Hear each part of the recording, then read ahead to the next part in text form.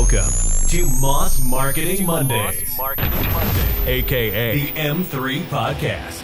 Brought to you by Moss Marketing Group, bringing you everything marketing every Monday. Stay tuned for marketing tips and tricks you can use today.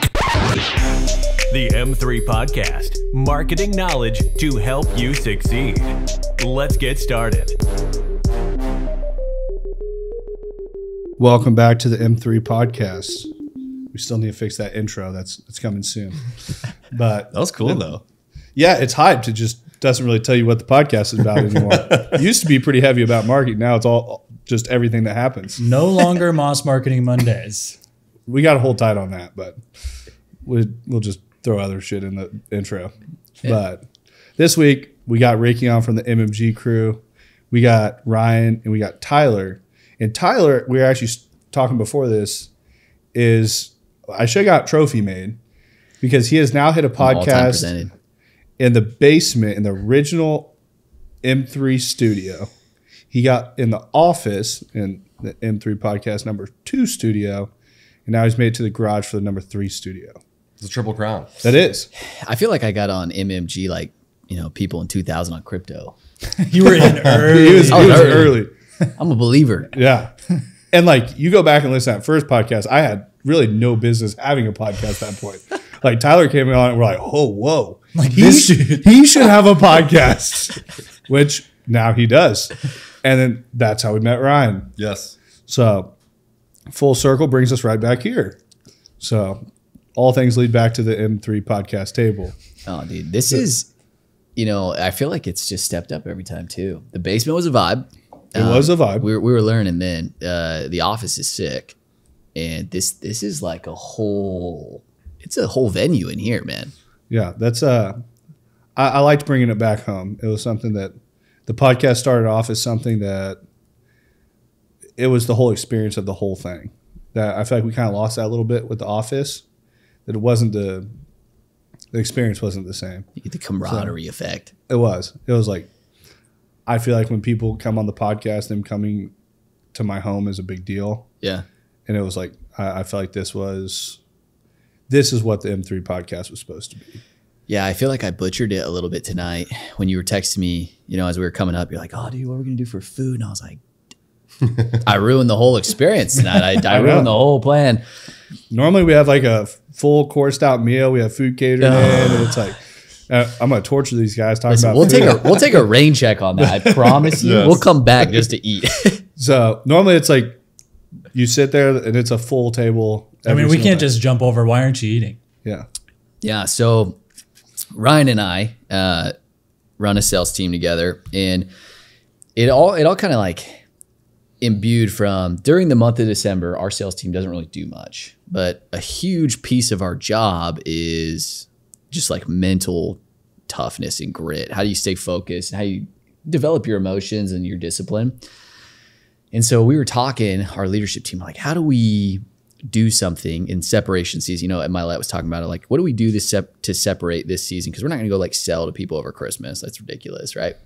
But It's an early Christmas present. Yeah. You, you get like way more people in one house. yeah, Hey, true. uh, hello. Santa's I know here. everyone's Yeah, here. Oh, just a dude. second. I got something to say. you know, honestly though, I, I've like eliminated all my beliefs on that too. Because we sell on the Fourth of July, and the Yeah. first time I did it, I'm like, oh, people are gonna hate us. They don't. Like, dude, dude, we sell so. I've sold four on the Fourth of July like a lot of years. I would probably be People more in a good pro- mood. I know, Yeah. like People are everyone's chilling. happy. Mm-hmm. Like, barbecuing. yeah. I'm like, hey, what's up? Join. Yeah. it's when the tech shows up, they're like, wait, wait, wait he's gonna do this during our party. I'm like, Yeah. yeah, he'll be he'll be out of the way. yeah. Won't Don't worry about notice it.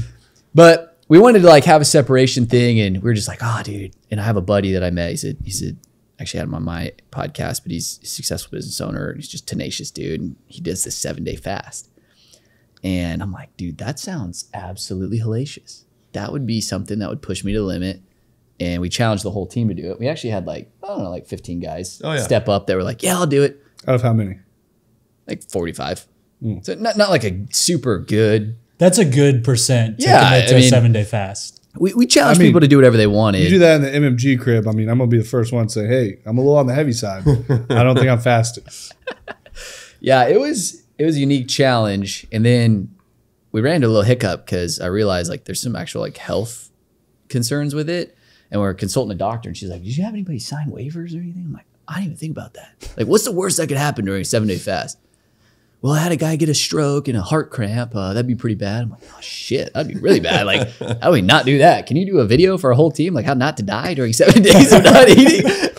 And she like sends us all the health benefits. she's for us though, it's just like total grit, mental discipline. Can we do it? Can we, you know, abstain from the urges of food for seven days? So I, I I'm the first one that I love the mental fight. Like I talk about it all the time of and I don't know, one day I, I might come out and just wake up one morning and say that I'm gonna try it, but it's I've always taken on the mental fight in a very physical form that it's Yeah. when I came off the couch to go run a half marathon. Like if you can tell I'm not a runner. I don't I don't like running it like but I truly believe that was a fight that I was gonna go take on and I finished it, and it was you. You meet a different version of yourself in your head at those points when you want to quit. Oh yeah. So it's I don't. I don't think I can imagine seven days with no food. I can't either. I'm struggling. struggling. I'm on like hour 50 right now. I Oh think. man, you're counting the hours. yeah. It's yeah. hour by Like, hour. started- You count the hours. Yeah, I started 5:30 on Sunday night, and the closer I get to a, a full week is I, I can't wait. Do you have a reservation yet? Uh, I was thinking pizza, Oh, nice. just like a big ass pizza, but I think we were talking maybe like Brazilian steakhouse too. So I don't oh know. man, that sounds. and you guys are gonna think you're going to go in and you're gonna feast, and you eat like I won't Stomach's be yeah, best you eat like two things. You're like, whoa, I'm full. What about you? I know. Dude, the the crazy thing, the cravings, wild. Like you mm-hmm. talk about like finding, and I think anyone's done like a big physical feat, you know, different athletic endeavors or whatever. You like the pain, the nonstop like of seventy two hours is where I'm at right now, going on like thinking about each snack or just a little like indulgence of anything that tastes other than loves salt or water. Yeah, I love candy, dude. It's a- Nerd ropes. I, I literally, I told my wife, I'm like, I think I'm having sugar withdrawals. You probably are, I'm, I'm sure I I, like am, pull out a nerd rope. bro. I I eat candy probably every day, so I'm like, what the frick, dude? I wish I could eat candy every day and stay thin like Tyler.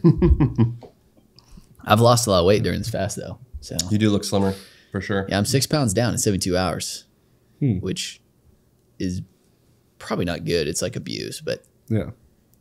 we'll make it work. So we'll have to when this airs, you guys will be off. Oh yes. Yeah. So I took before photos. I want to see because I don't know if you saw Dana White did it.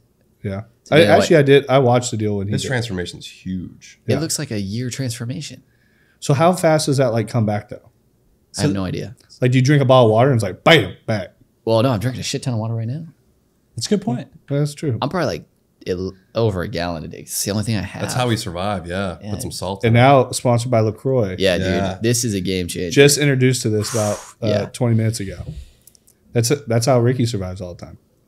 Lacroix, man, it's fantastic. I, I am interested in seeing what your guys' physique looks like uh, right after and then like a month later, because Yeah. it can't it can't just all be fat loss. Like it has to be a lot of water that's oh, uh, for sure. sub Q. Even Yeah. my muscles feel a little bit depleted. Like my lifts aren't the same. My recovery is worse. Like it's like I've any- Non-existent, I would imagine. There's probably no nothing to fuel you. yeah. And so like I, I feel like way thinner, not only body fat, but like muscle composition too. It's just it feels depleted.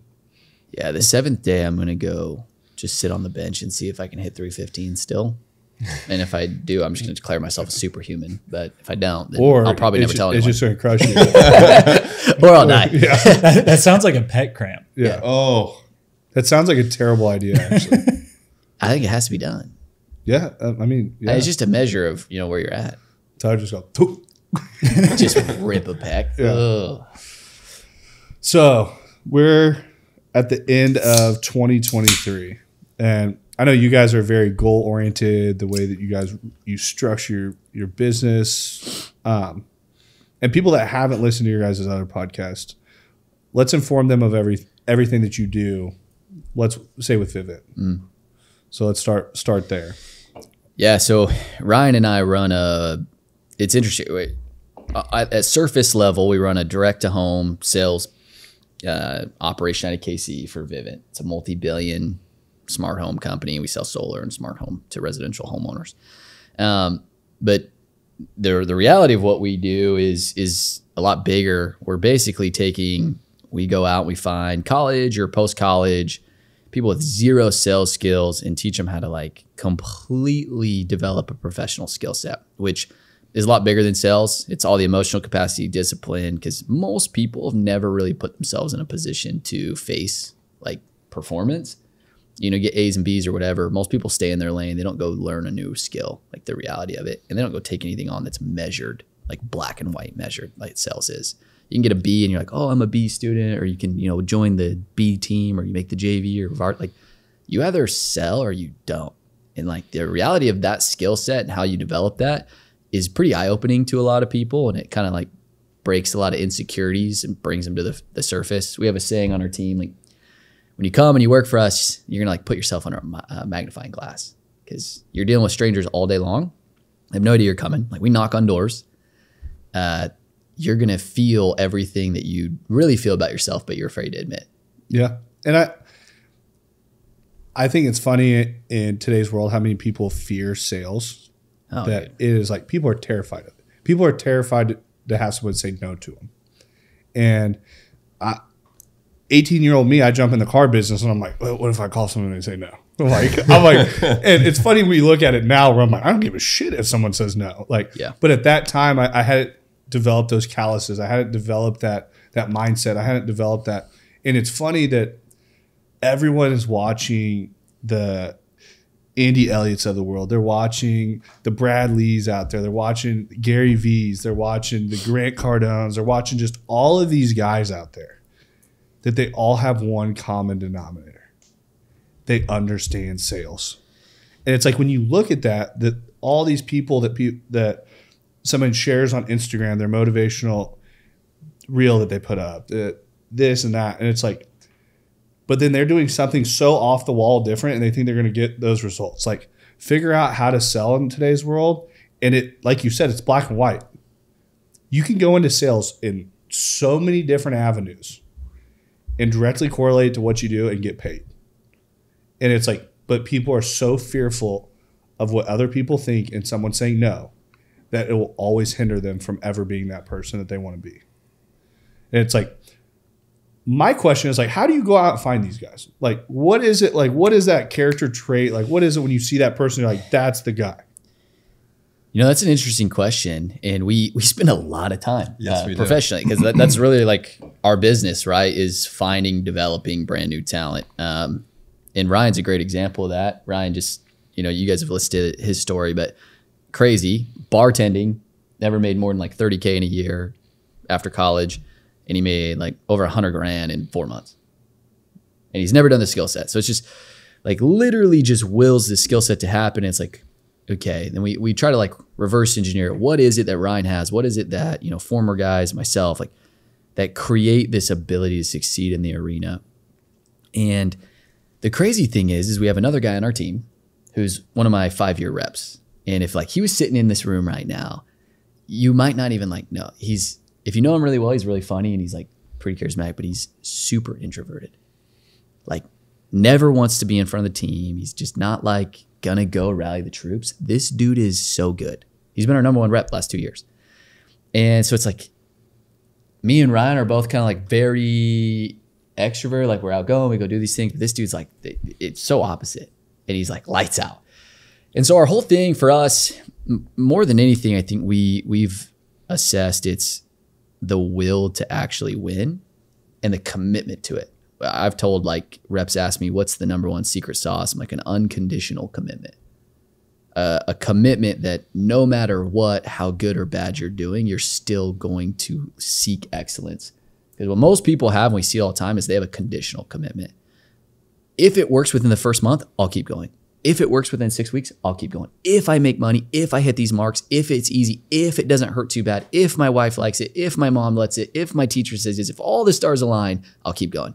But like in your business, our business, there is no perfect scenario. Like, yeah, it's shoveling shit, and it's like, dude, it's adapted on the fly all the time, and it's always just like, dude, there's there's never a perfect business, there's never a perfect fulfillment. It's always just like, how are you going to develop the skill set? The market's changing, you got to run it. and you hit a nail on the head. You say the word adapt, which I see it in businesses all the time. That we we are very lucky in the fact that we get this microscope on all these different business models all, all day, every day. And the businesses that you see adapt quickly and on the fly are the ones that win. The people that are scared of change, that's like, hey, this is the way it's that we've always done it, this way we're going to keep doing it. It's almost sad watching those business owners. And they're doing a disservice to the people that work for them and that work for that company that have put their blood, sweat, and tears into it to sit there and say that we're not going to change and we're going to keep doing it the same way and it's not working.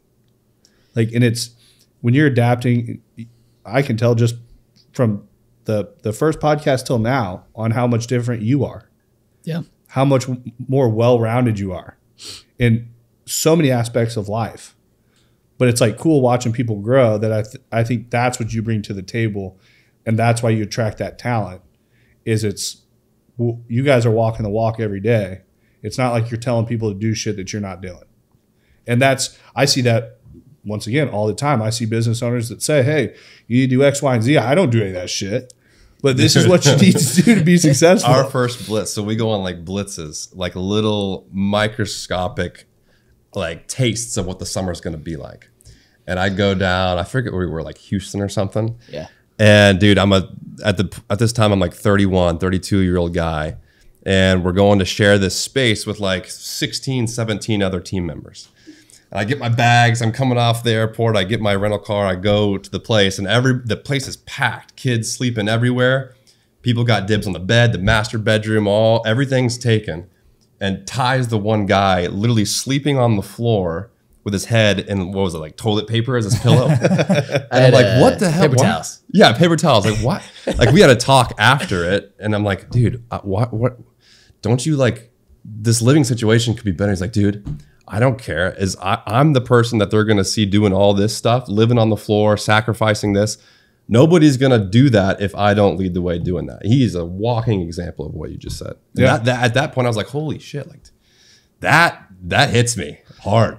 And, and I think that does hit people, but it's also showing people the path Oh yeah. that it in our world today, everyone and their mother is can is telling everyone how to do something, hmm.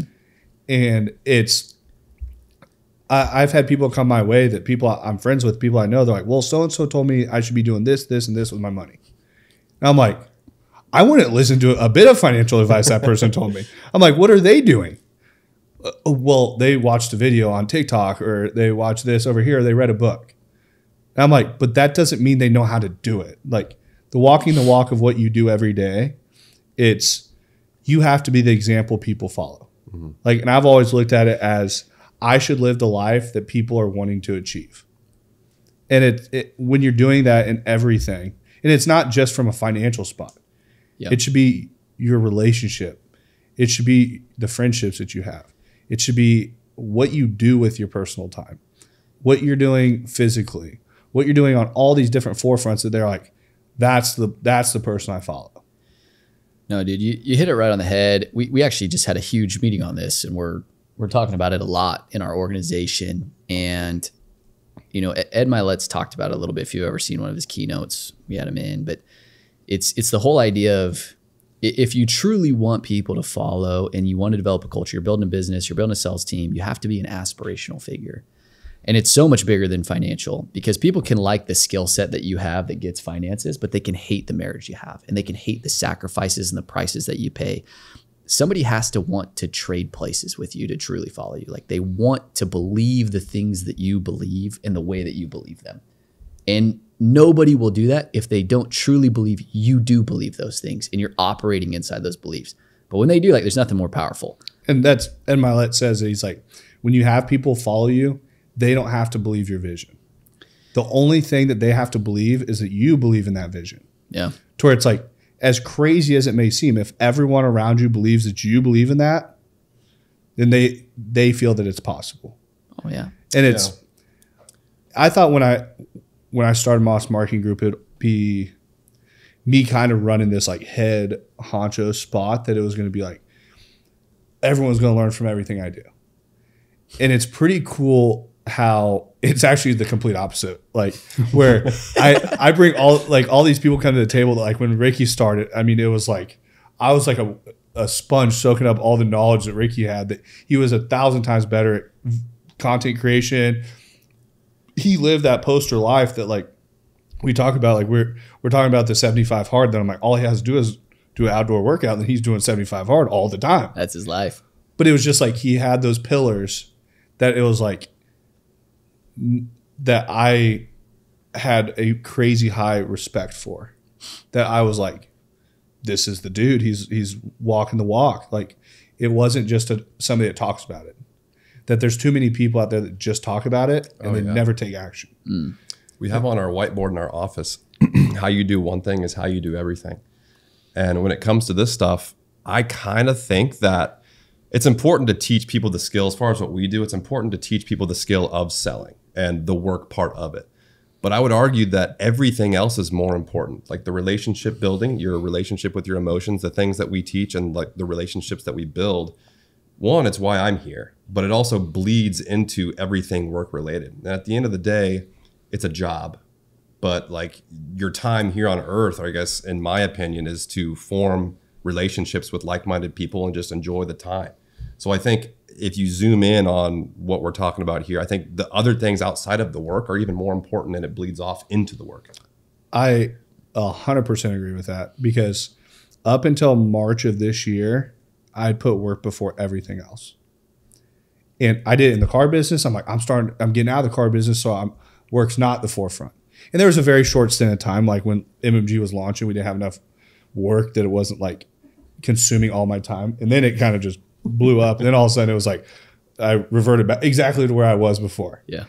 and I wasn't going to the gym. I wasn't taking care of myself. I wasn't putting Madison first. Like all these things just weren't dialed in. And it, it was one of those days that I finally took a step back and I'm like, am I the version of myself that I want to be? And I could not look in the mirror and say yes to that. And it, it's hard to do that sometimes. oh yeah And when I sat there, I'm like, if somebody looked at everything right now, I don't think people would want to trade places with me. They may for the financial Yeah. part of it, but everything else I had going on wasn't right. And at that point, I turned it around and I was like, I'm putting myself first. I'm going to start taking care of myself. And I'm like, and I'm going to put Madison before the company. And I was like, I'm going to do those two things in my social life and friends and the people that mean a lot to me. And I was like, and wherever Moss Marketing Group goes, it goes. i like that And all of a sudden it was like, woof. Yeah. And I'm like, it was like we turned on like rocket boosters overnight. And I'm like, Yes. When I started taking care of myself better, I was operating better. My energy levels were different. Just everything Yeah. just amplified. you know what's crazy though is the reason you found that out is because you prioritized the wrong thing first and learned from it like you wouldn't have got to where you are now not having gone through it in the first place And the crazy thing is, I see people go through a whole entire life yeah that never figure that out. yeah I see people that are 60 years old that still haven't figured out that one thing. Dude, I think uh, you know Ryan and I talk about about this because when we're recruiting people, right, we're, we're bringing people into a commission only space, and and you guys know this as well as me. We're starting a business, commission only sales. People are so afraid of that. Terrified. They are so afraid to put their like own worth on the line and have to acknowledge I may not be as good as I tell people I am or tell myself I am for a while. But what's so interesting is we've met with so many people, potential reps are like, I want this life, I want this relationship, I want this health. Well, your current path has like negative 0% opportunity for that to ever pay out. Why would you not just go try something else? And it really just comes down to fear. So many people are so afraid to even put themselves in a situation to find out what they don't have that they just won't ever do it. 100%. They just live in this like this little comfort bubble, but it's amazing because when you sit down with people and it's like we were trying to assess like what what, what makes somebody willing to do that. And I, I don't know what the exact if, if I could bottle it right, we'd probably all be billionaires, whatever. If we could find out like what makes people super successful. Are we going to become Yeah. crazy rich? yeah, yeah, this we're yeah, this is gonna be sick. But I think there's there's a little aspect, yeah, just the more you put yourself in situations where, like, as a business owner, as a sales rep, you have black and white evidence that you are not as good as you think you are. all the time. Yeah, and it, but some people are like, even Ryan's asked me, he's like, how is that stressful? You know, is that like all the different things you have to take on? It's like when you do it enough, it becomes almost exhilarating to realize like, hey, I hit this wall and I tried as hard as I could, and it didn't work. But like somebody else says is good enough. Like, what do we need to do now? Like now, where do we go? And that's like a fun place to realize like I'm totally cool with the fact that it, the mark wasn't there today, but I'm freaking gonna find a way to get the mark there tomorrow. Yeah. And it's it's funny how like you talk about how good people think they are. Like I started MMG and I was like right out the gate and I'm like, dude, I am like the guy. And I'm like the guy. And it came like a year and a half in. I'm sitting in the driveway and I'm like, I don't know how fuck I'm gonna pay payroll tomorrow. and I'm like, I actually kind of suck at this. I was like, I'm like sitting in my truck, like breaking down. I'm like, but it was, it's hard to, to have that happen. That it was like I'd always excelled at everything I did, but it was like at that point, it would have been really easy for me just to hang it up and go back to what I knew, what I knew was safe. But it's like I came in, I told Mass, I'm like, I'm fucking bet it all. I was like, I'm I'm gonna bet it all, and I'm either gonna take it to the moon or I'm gonna take it to the bottom of the ocean, one of the two. and I'm like, at least it goes somewhere. It doesn't end th- this way. And it's like, and I see I see it with people inside of businesses all the time too, that are fearful of taking that step to be the person they're supposed to be inside of a company. That it's not always just entrepreneurs. It's just it's people in general. Oh yeah. And entrepreneurs that are W or even W two employees that Yeah. want their promotion, dude. Like, and it's I I'll say this week we have a I'm, I'm going to give Ricky high kudos on bringing David to the table. There's a, a new guy that we were talking about. I actually brought the Oh, yeah. I told if there was an employee of the week, it was going to be him this week. But Congrats.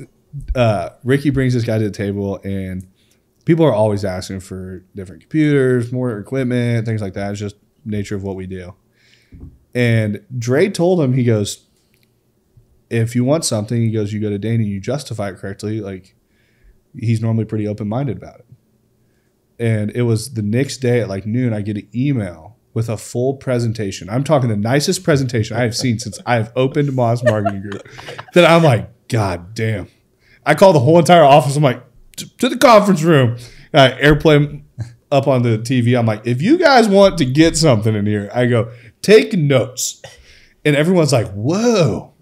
And I was just like, but it was that initiative. It was that like the the presentation of it, like how it was done, that he fully processed what it took to get to the next level himself. Like we didn't, and that's the thing is, I think you can help people get there, but at the end of the day, they they have to want it. They have to have that that hunger for it, and it's like taking that step up. That I mean, that changed my viewpoint of him like immediately. Parable of oranges. yep. You ever heard the parable of the oranges? No, It's a it's a Forbes article. We we we read it with our leadership team every year. Um, but parable of the oranges. There's I can tell you quick, but there's two employees. One guy. It's like in a corporate kind of Wall Street environment. The the one employee is like paying his dues, just eating shit, trying to climb the corporate ladder for years and years and years. And there's a partnership opportunity that opens up. And he thinks like, dude, I'm a shoe in. I've been paying the dues. Boss loves me. Like I- I'm the guy. And he goes in and sits down, and the boss is like, "Oh, like, um, the other guy got it." And it's a guy who's only been there like a year, young dude, like brand new to the company, and he's all pissed off, and he's like, "Well, let me let me break it down for you. I'll explain." The he's like, "I need you to go get me some oranges." He's like, "Okay, what the frick?" So he goes, buys some oranges, comes back, and the boss is like, "Okay, like." You know, what kind of oranges you get? He's like, I don't know. He's like, how much were they? He's like, I don't know. The receipt's right there. Just, you just told me to get some oranges. I got some oranges. He's like, oh, okay. Just sit right here. And then the employee who got the promotion, who got the partnership part, comes in and he's like, "Oh, like, uh, where's your oranges?" He's like, "Oh, well, I don't have them. Um, when you called me and asked me to get some oranges, I just assumed like, oh, well, there must be a reason for these oranges. So I called your assistant, and she said that it was because your wife was having an, a party. So I called your wife and asked what the oranges were for, and then she told me they were for orange juice. So when I went to the grocer, I found out what are the best oranges for orange juice. And then I got a better deal because I bought a bunch of them for your wife's party. And I dropped them off at your house. So your wife was ready with the orange juice. And I already put the receipt in um, to, to accounting. So they, they processed the, the, the, the bill. and the dude just walks out. He's like, I get it. And, the whole idea totally makes sense now. yeah, the whole idea is this is right. Is it's just like when you own your results, like you dig deeper into the details of like why things need to be the way they are, and you optimize every opportunity. And like that right there is like as a leader, as an owner, or even as an employee, like that's how you really dominate. Like you care. You you don't just fulfill tasks. Like you find out why what is the purpose of the task, what's the end goal of the task, and you don't wait for other people to tell you. Yeah. You just go take initiative. And that's I think that taking initiative is a huge part in any role anywhere. That if that person if you are a person that takes initiative in what you do all the time, climbing the ladder in business, climbing the ladder at places is not that difficult. Because in today's world, there's not a lot of people out there doing it. Not a bunch of slapdicks. It is. but it's like people out there that all they do is they talk about it, they think that they're owed it. They they think I'm gonna go there, I'm just gonna put in just hella time and then it's gonna show up. That it's like and the crazy thing is like I think about it just within the MMG walls and like we've only been open like three and a half years. Like it's a very, very, very short time frame that we're talking on. But it's like I already see like the standouts. I already see like and the crazy thing is like I can go and have a sit down with someone. I don't directly tell them what they need to do, but it's giving them the opportunity and then they step up to the plate. And that's what I like is I don't want to have to hold someone's hand every single step of the way. That let people start having those those wins that they start learning because then it's better for them in the future. Because if they're always reliant on me to get that win, then there's a there's a break in the process. If you take 17 people and you teach them how to win every single day and think on their own, you want to talk about a ship that starts moving really fucking fast. Yeah, that's scale. Mm-hmm. And, and that that really is that is what scale looks like. That is what they start thinking about how to make their processes more efficient. They start thinking about they're coming to you not with problems but solutions. And I learned it from Corey with CP. He he said the number one thing I've done since I've opened was he goes in the first couple years he goes I start hiring people and he goes I just had problem after problem after problem. And he goes I implemented if anyone came to me with a problem they had to have the solution already. Mm-hmm. And he goes it was amazing. He goes just people stopped coming to me like they figured out how to do, like most of the time people just don't take a second to actually figure out the solution. And I've even seen guys that they do like a three option deal where it's like you come to with a problem, you have to have three different options on how to fix it. Which when you start doing that, people are like, okay, that was kind of stupid that I even went to him with that. That they just need, No, It's like you're right. That was the point. and then it's like they start learning how to problem solve. That I feel problem solving is a huge key to sales. Oh yeah. like that is the i feel like one of the biggest pillars of sales is people have problems you're trying to solve them and it's identifying what those problems are and being the solver there all the time and it's on whatever it is and it's in life if you have a relationship and you have problems and you can't figure out how to solve them guess what? You're always going to have problems. And most of the time people want to say i'd say 9 out of 10 times the problem most of the time is you. Yeah, we, we, we talk about this in our, our our meetings all the time because it's it's amazing that how conditioned people are to blame circumstances or whatever. And, and in sales, like my favorite thing is, you know, when somebody bitches about a neighborhood or turf, whatever, I'll just go sell behind them and be like, oh, that's crazy. Like the same doors that had no idea I was coming by magically found the money to buy a product. That's, that's amazing. But you you hit it right on the head. It's just we teach everyone like, dude, the only variable all across your life is you. And so it's like if you're getting these consistent results everywhere you go that are not peak optimum results, like you're probably the reason they're getting them. If everybody at the door tells you the same thing, like you're triggering this response. And until you can step back and say, I'm the issue every time, I'm getting these deals to this point. I'm the reason that this isn't happening. I'm the reason my relationships suck. I'm the reason my health is bad. Like you, you can't fix it. And that's, I think, self awareness. Ryan and I talk about this all the time. I think it's just an it's an underrated superpower.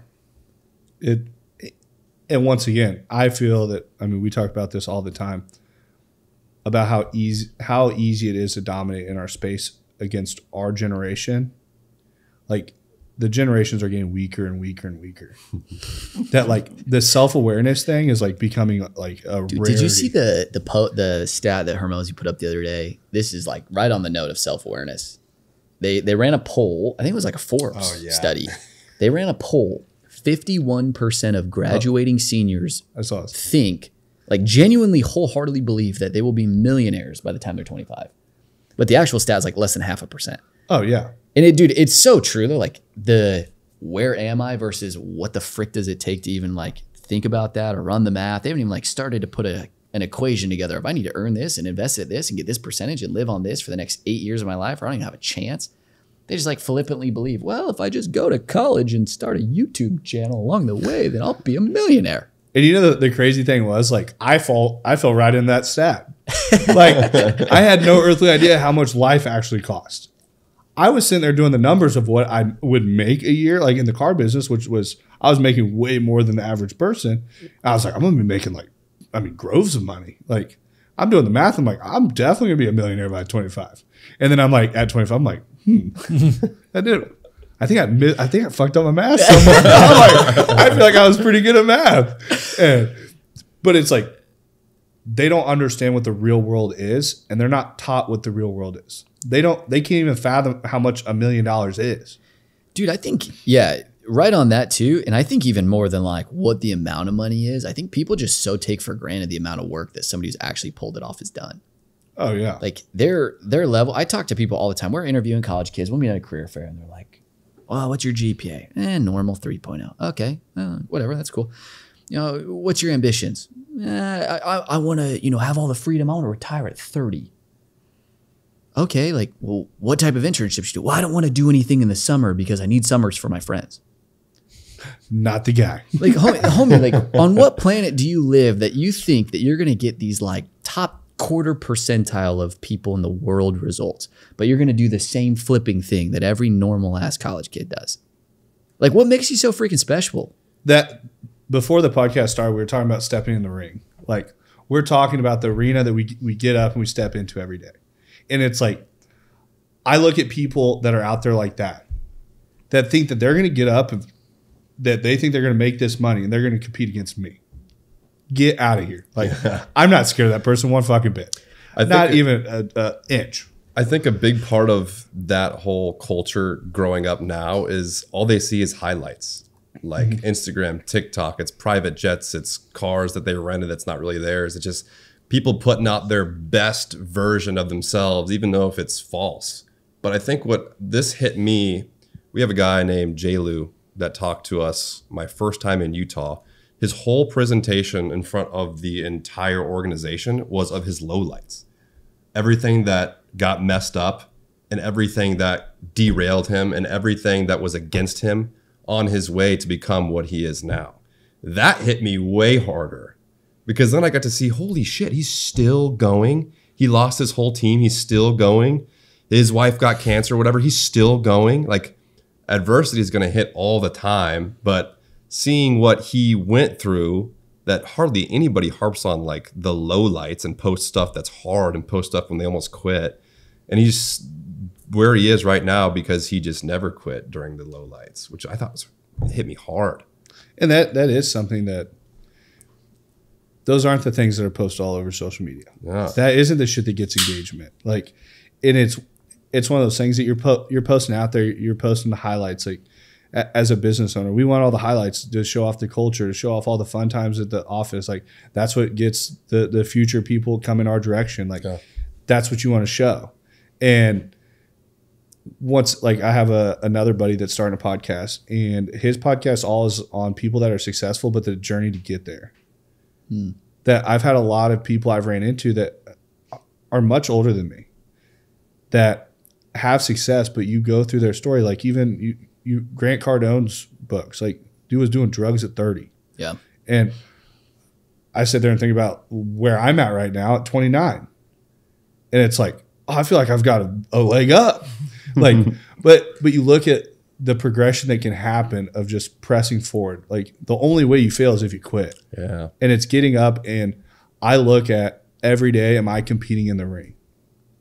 Am I putting in my best foot every day I get up? And that's on every forefront. That's not just business. That's am I doing what I'm supposed to be doing in my relationship? Am I doing what I'm supposed to be doing in the gym? Am I supposed to be doing all these different things? That this morning when I'm heading to the gym at four o'clock, did I want to go? No. But I was like, you know what? I was like, I'm looking at myself in the mirror. I'm like, you're fucking pathetic, bro. I'm like literally sitting there looking at myself. I'm like, you have a full day ahead of you and you better get your ass moving. Because if not, you're not going to make it. But it's like most people would have just chalked it up as like canceled everything for the day, laid their ass in bed, and given up. Oh yeah. I think you brought up something. You, you said, you know, I, I don't want to do it. And I've had this conversation with a lot of people in, in sales, especially.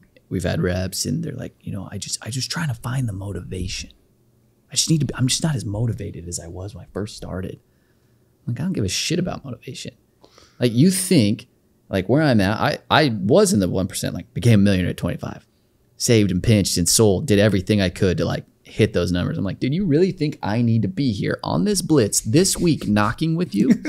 you think I want to? I got two kids and a wife at home. My wife has crazy anxiety. You think I want to be here? I'm motivated to get out in the rain and the snow and come knock with you. No. Like, actually, Like, this is what I dreamed. This, of. is it. yeah, yeah. I'm like, yeah, freaking yeah. But like, it- there, there's almost like this this weird perception that I feel like society has kind of permeated. Like any type of struggle, pain, or anxiety or stress is just like to be avoided at all costs. And it's just not real. Like I don't know when in the human existence we decided that we are going to stop like feeling pain, but like welcome to mortality. Uh, that's just a part of the process. So you, you just need to embrace it. That's I tell everyone that on the the other side of uncomfort is where you find greatness. That if you're not pushing yourself to an uncomfortable level every single day, then you're doing something wrong. And it's on there are so many things that I take on that I mean we look at each other and we're like we're to figure it out. Like and it's it was funny in the beginning those uncomfortable things like I it keep me awake at night. Like and I was like I had that imposter syndrome for a while. That I'm like, am, am I this guy? Like, and then all of a sudden I started putting the right people around me. I'm like, we are those fucking people. I'm like, we are the ones that take it on. That like, we go and we bid things that are going up against the biggest market agencies in the country now, and we're getting the accounts. We have offerings they don't, and it's like we've placed ourselves to be those people. And it's not just me at this point. It's a whole group of people that it's overcoming that, it's a lot more fun taking on those big challenges with an army. Oh yeah, I don't Taking think them it's by- possible without it. I I think there's certain things that like there's uncomfortable things that you take on, but it's like as the people around me get more refined and get better at what they do, it makes me more aggressive.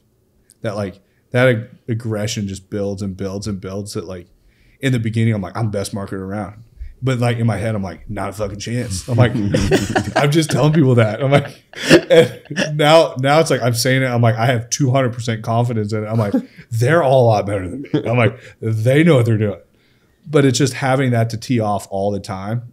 That it's surrounding yourself with the correct team that I think makes those uncomfortable waters so easy to charter and it's you're just you're after it and it's like you're built for it like the people around you are built for it I think too, you know, I this is an interesting thing too because it's sometimes I'll have a rep will they'll you know they'll come and ask me like how do you how do you handle all these things? Because we we take for granted a little bit too when we look you know five ten years down the road like I think about all the time my rookie year like my first year in sales and what I'm able to do now in like from a sales standpoint management all the investments. I manage a real estate fund too like I got a lot of shit going on. I got kids a wife like if I had to deal with like the level of just things I have to deal with today, like six years ago, I'd have freaking imploded. Like I would have, I, I would have literally had a panic attack. I would have just been, you'd have found me somewhere in a freaking under the under the bridge, bro.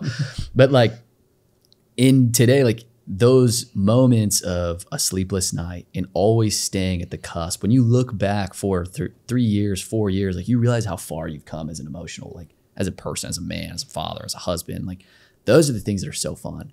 And that's where like in my business, we talk about this like, yes, I want to push the business. Yes, I have these financial goals, but a lot of it is like, I need to stay on this cusp of healthy anxiety and stress because it makes me more equipped. When my wife comes to me and my daughter's like, got this thing, I'm like, it's really hard to get me worked up now. Yeah. To like be stressed and anxious. Like it has to be a pretty high pressure, high tense situation. And it's not overnight, but like I think people don't understand you're going to have those moments in life whether you want them or not. So you might as well choose them now because you're more prepared for the ones when they come.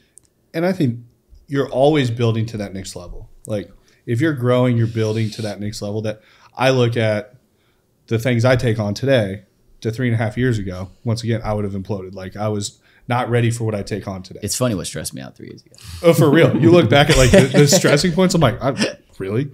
But it's a lot of times what helps me with that is I look at the guys that are hundred steps in front of me. I'm like, they would laugh at me right now if I said this was stressing me out. Like, uh, literally laugh me out of the room. Like, if I came to them with the problems that I thought I had right now.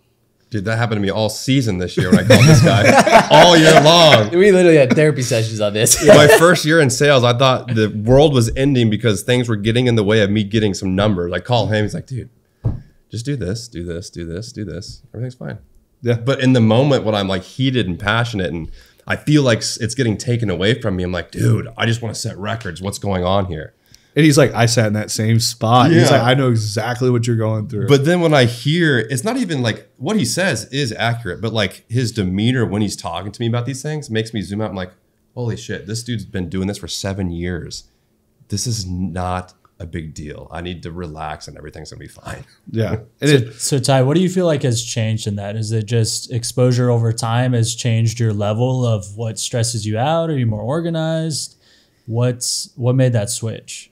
Yeah, I think combination of things. For sure, I think your organization develops. Um, I think when you're when you're at that cusp of like your current ability, you have to get pretty resourceful, and you're kind of forced to like, okay, like how do I free up this time? How do I create this opportunity? Like, how do I make this less of a like hail mary, and create more of a reality that this can be can be controlled.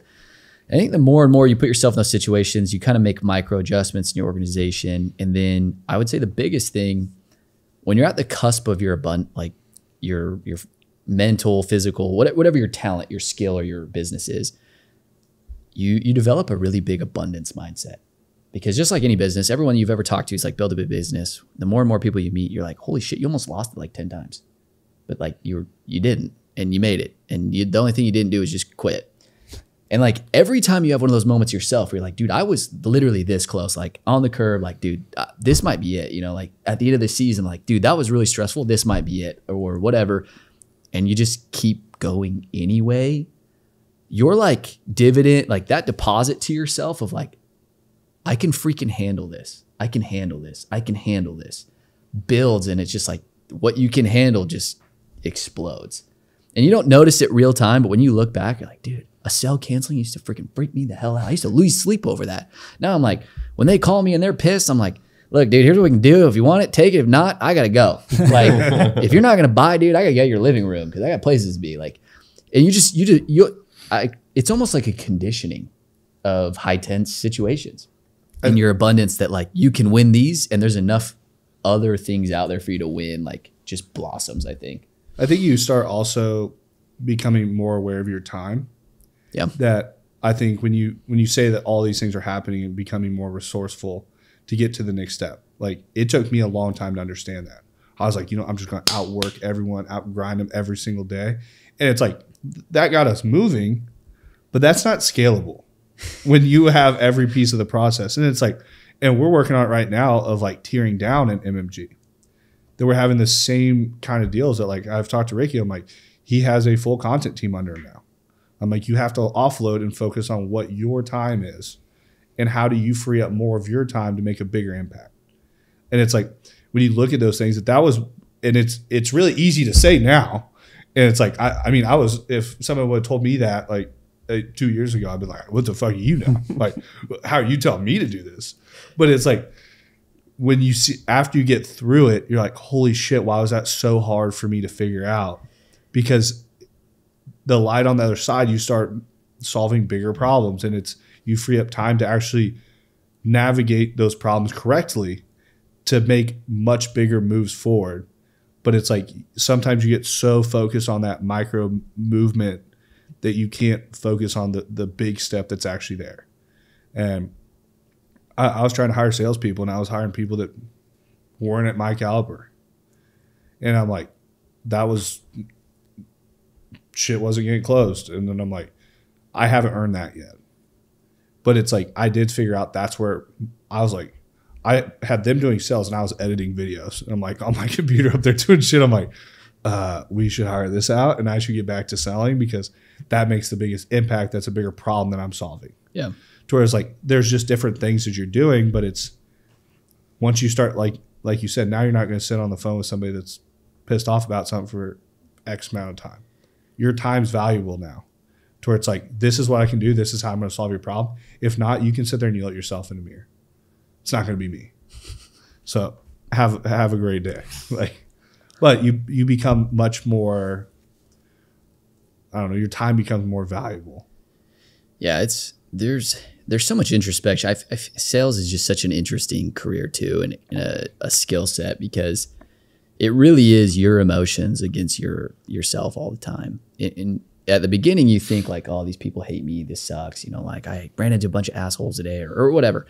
At the end of the day, like, dude, it, it really is just your subconscious like view of yourself gets pulled to the surface every day. Because when you're taking rejection over and over and over and over and over and over again, to be able to say like, I'm still the same guy. I still have the best product. I still have this opportunity. I still have this service. I have this this deliverable, and go treat that next person. It's way harder than people anticipate Oh, over a long period of time, and it wears on you but it also like builds something in you that's really unique where you get to look at yourself on a much deeper level and find out like hey you know dude i haven't really dealt with this. Um, this is an issue. Like this is a me thing. I gotta fix this shit. Yeah. so you can go to the next level. I think it just to me i, I love i love that it, sales is in your control i think the biggest thing that, that we love we talk about a lot is just the it's i think the best opportunity to find out about yourself and why you are holding you back Yeah, I think that that variable right there, your relationship with your emotions, is, in my opinion, the number one thing in our sales industry. I'm new to the sales industry as a whole, but what we do, it extends hot streaks and it just immediately stops cold streaks. It's like if you're talking to a person and they shit on you and say no, slam the door in your face, whatever, to totally feel that and then neutralize it and go to the next door like it didn't even happen is a superpower. I think that I tried to take on energy. We've talked about this a lot. If it's like a high amount of frustration or fear, or anger, or anxiety, it's a high level of emotion, period. Label it whatever you want. You can use that same level of high emotion and fuel it towards productivity at the same level. So they're both up here, regardless of whatever emotion you want to label it. So it's only like, almost like alchemizing it within you and then using it as productivity to fuel you to get what you want to get. Mate, I haven't really thought about it that way. But it, it it's something that what I think you guys have done really, really well at on the sales forefront that I see that the auto industry lacks a lot is the auto industry is the strong survive, the weak drop out. There's no helping the weak. You come in and there's superstars that stand out, and then there's the bottom of the barrel that bleed themselves out. And they get out of sales and they fucking hate it forever.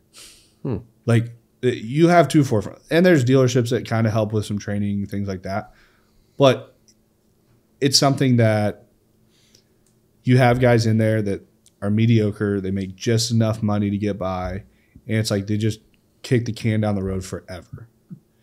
And it's like really when you break down what they make like hourly, they would be better off like working at a fast food joint.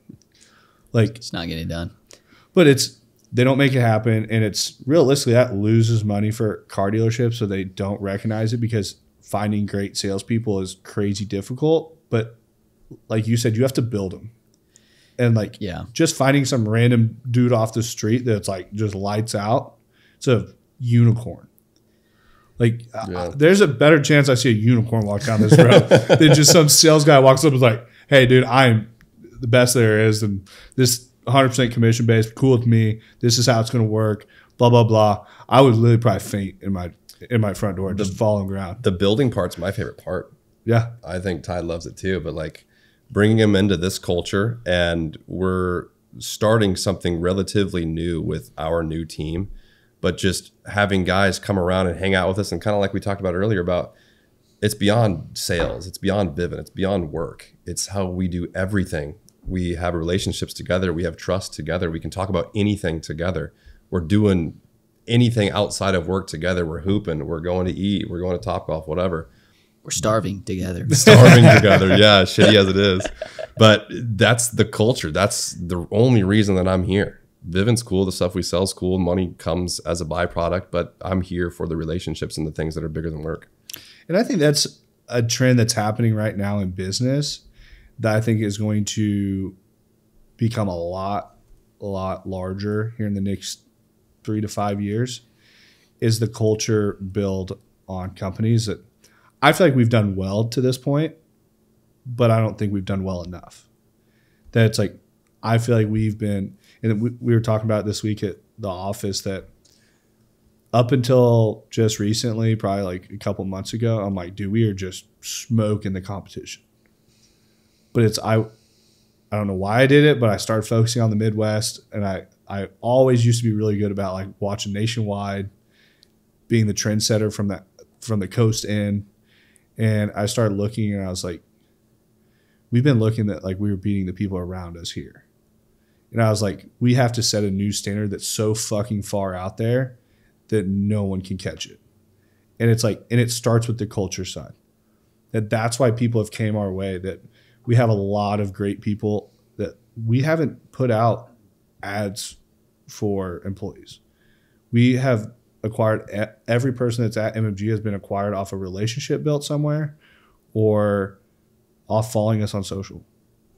But it's they see a culture, and I feel like once again we've done well so far. But there's another level that I look at what you guys are doing, and I'm like, there's a standard that's above. That's like, if we're stepping in the ring, we got to step up our game and not just visualize it as our space. Yeah, I think it's an interesting thing. I, I do think that commission only sales and building teams and commission only sales is like a master course in culture because right like what we don't have is we can't just go find that talent and say like dude here's a salary because you're that guy. And that's safe. Like we you you can do that in a lot of companies. You can have great culture and there's still a lot of like other variables right? But you have to provide and you have to learn how to create an environment where somebody off the street believes in you a complete stranger or a referred stranger enough to say i will leave my current situation and put my total faith and trust in you, your program, your operation, your skill set to get me to be financially stable or financially excellent. Like we can't just write them a check.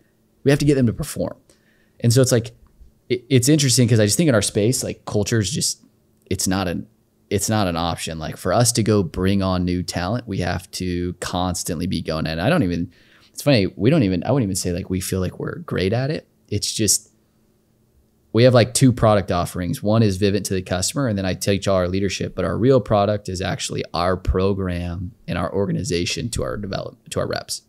And that's our most important product. Like Vivint's taking care of the product development there and innovation. Like if we're not disrupting and innovating as much as Vivint is disrupting and innovating the smart home market, like we're gonna lose.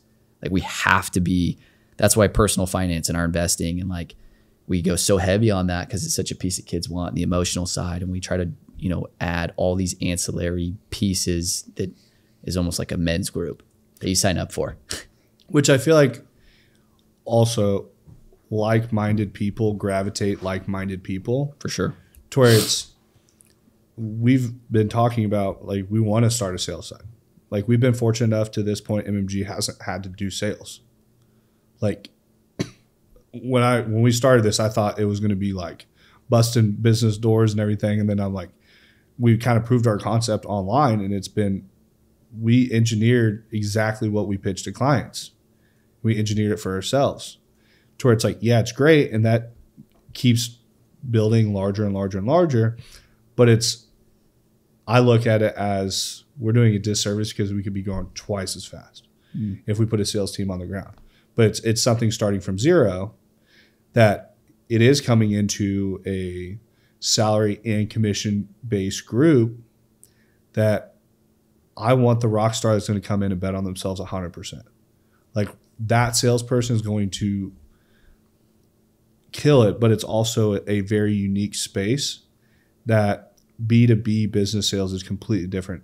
Yeah. That it was something that it took me a little while to adapt to. That I was used to the car space, getting the yes there, like getting people shaking their head up and down with you, like progressing forward through the car deal. Like I knew a car deal inside and out on how to sell people. And it was like, l- luckily in the car space, I was really good at the rapport building, building the relationships with people. And so with the B2B side, it wasn't always yeses at that time. And I felt like in the be- beginning, I was like failing because I wasn't getting a yes every time. But in the business side, they may have two other partners that they have to talk with. That's a non negotiable. And it's like you press them too hard, you're going to get a definite no. But it's like, so all of a sudden I, I had meetings, I had meetings. I'm like, I'm coming back. I'm like, I fucking suck. And I'm like, maybe, maybe, I don't have this sales ability I thought I had. And then like two, three months later, people are messaging, sending us emails like, hey, we like to get rolling. When can we onboard? And I was like, well, this is weird. Because like in the car business, we always made fun of like if somebody left, sales guys like, oh, they're coming back. Callbacks. yeah. yeah. I'm like, oh, okay, yeah. I'll hold my breath. Yeah. yeah. And I'm like, they'll, they'll be right back on the be back bus. But and it's it, it, it's a whole different space that I it's something right now. I don't know how to find that B two B salesperson that we're looking for. You know what I think? Um, Because um, in our space, dude, and I think every sales, I think it's you know direct to consumer, B two B. I don't think it matters what it is. Sales to me is like a whole nother language, and each industry probably has its own dialect. And I think the best sales reps, right? Like we have a lot of guys that are really really successful, but most people are never as good as our veterans, our managers Like it takes time. And part of our like what you just talked about culture, we do a, a lot to help people understand. Look, if you're going to step into this arena to go play at the highest level and you want to perform against the highest level people, like you need to one respect all the dues that they've paid and two expect to freaking pay the same ones. And so I think what's cool about sales and the misconception that people have is you're either a salesperson or not because they see what great salespeople can make and they're just like, oh, he's a freak and it feels like a shortcut. That's what I hear people describe it all the time. Like, oh, it's a shortcut. You can make this amount of money in that amount of time. But the reality is, it's not a shortcut in the time that you can get to the income. It's a shortcut, and it's one of the only industries that allows you to compress effort into time. They allow you to put more effort into the same amount of time that a normal job just doesn't allow you to do. You show up nine to five, whatever, it doesn't matter. Like you got 10 years until you have an opportunity for this position. But if you're willing to work nights, study mornings, run your pitch more, run role plays more, you're willing to do 10 times more in the same amount of time, you get 10 times the results. And it's like painful for a season until you figure it out.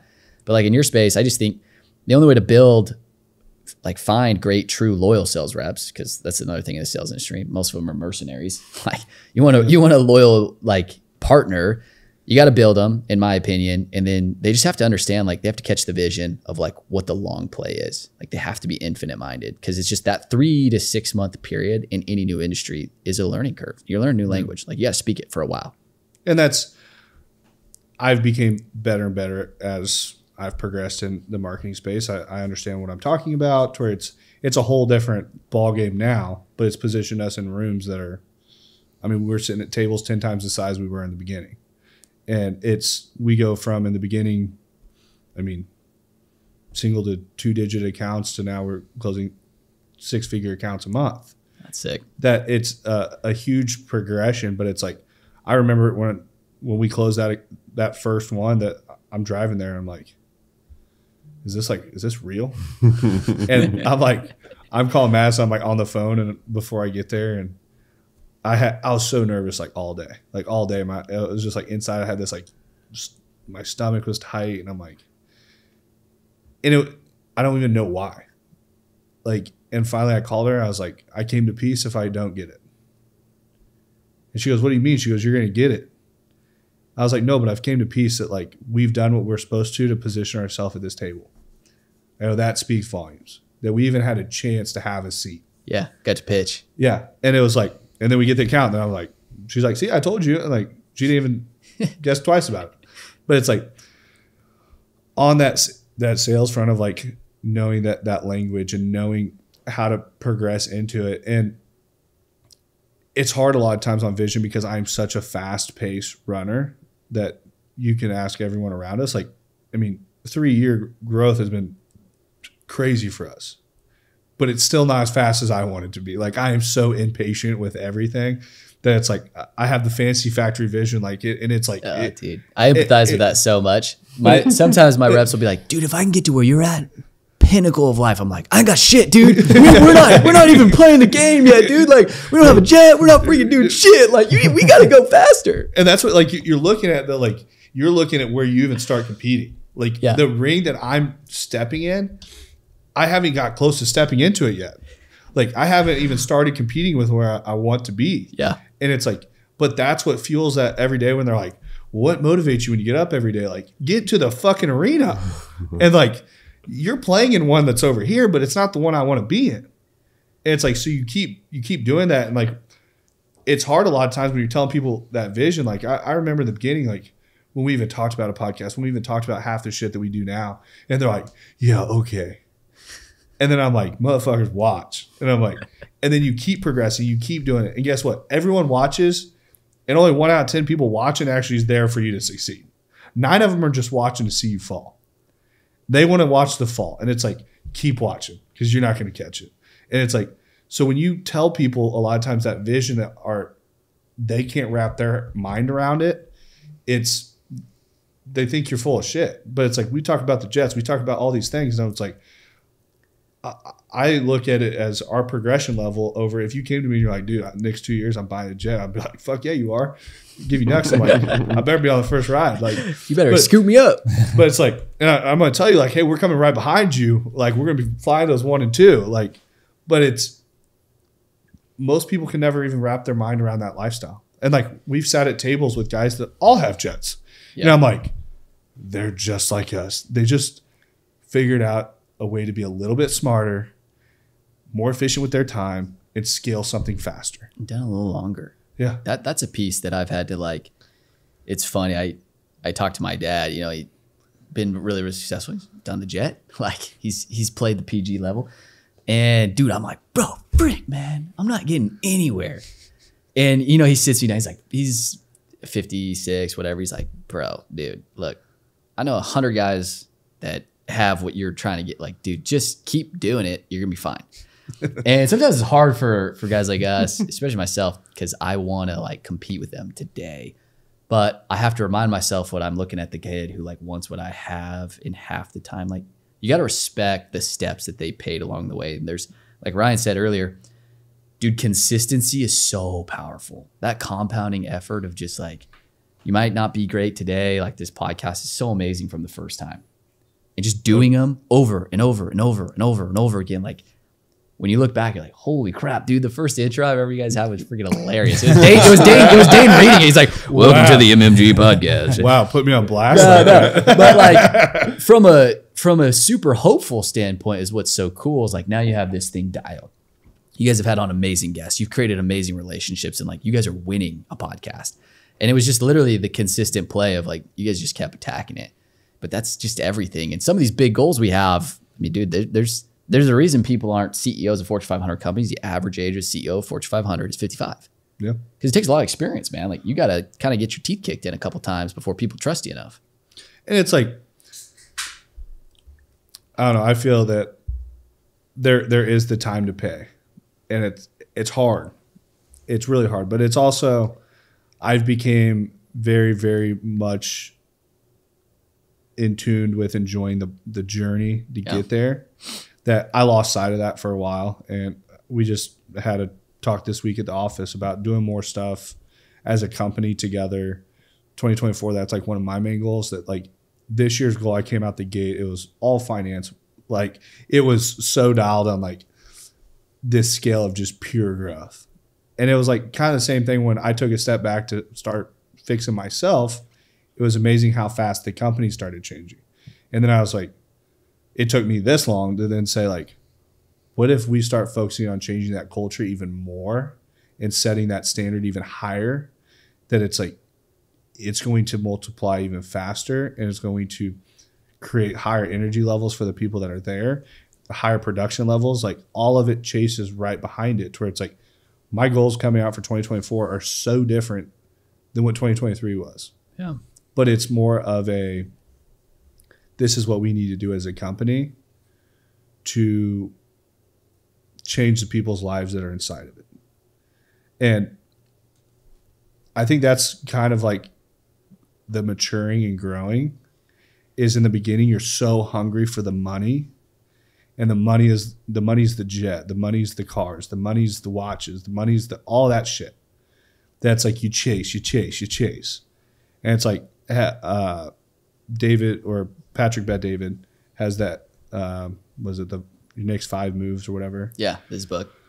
so he talks about your very bottom of the the pyramid is your um, survival, and that's like where I feel like a lot of people start off in business. That's where people come out and they're chasing the status level. It's like I want, I want the car, I want the house, I want the the the watch, I want all these material things. And they catch up to status, and then most people never get outside of status. But then you move up to to freedom. That's figuring out how to leverage your time really figuring out how to manage your life and not be strapped to money. That money isn't going to make you happy somewhere.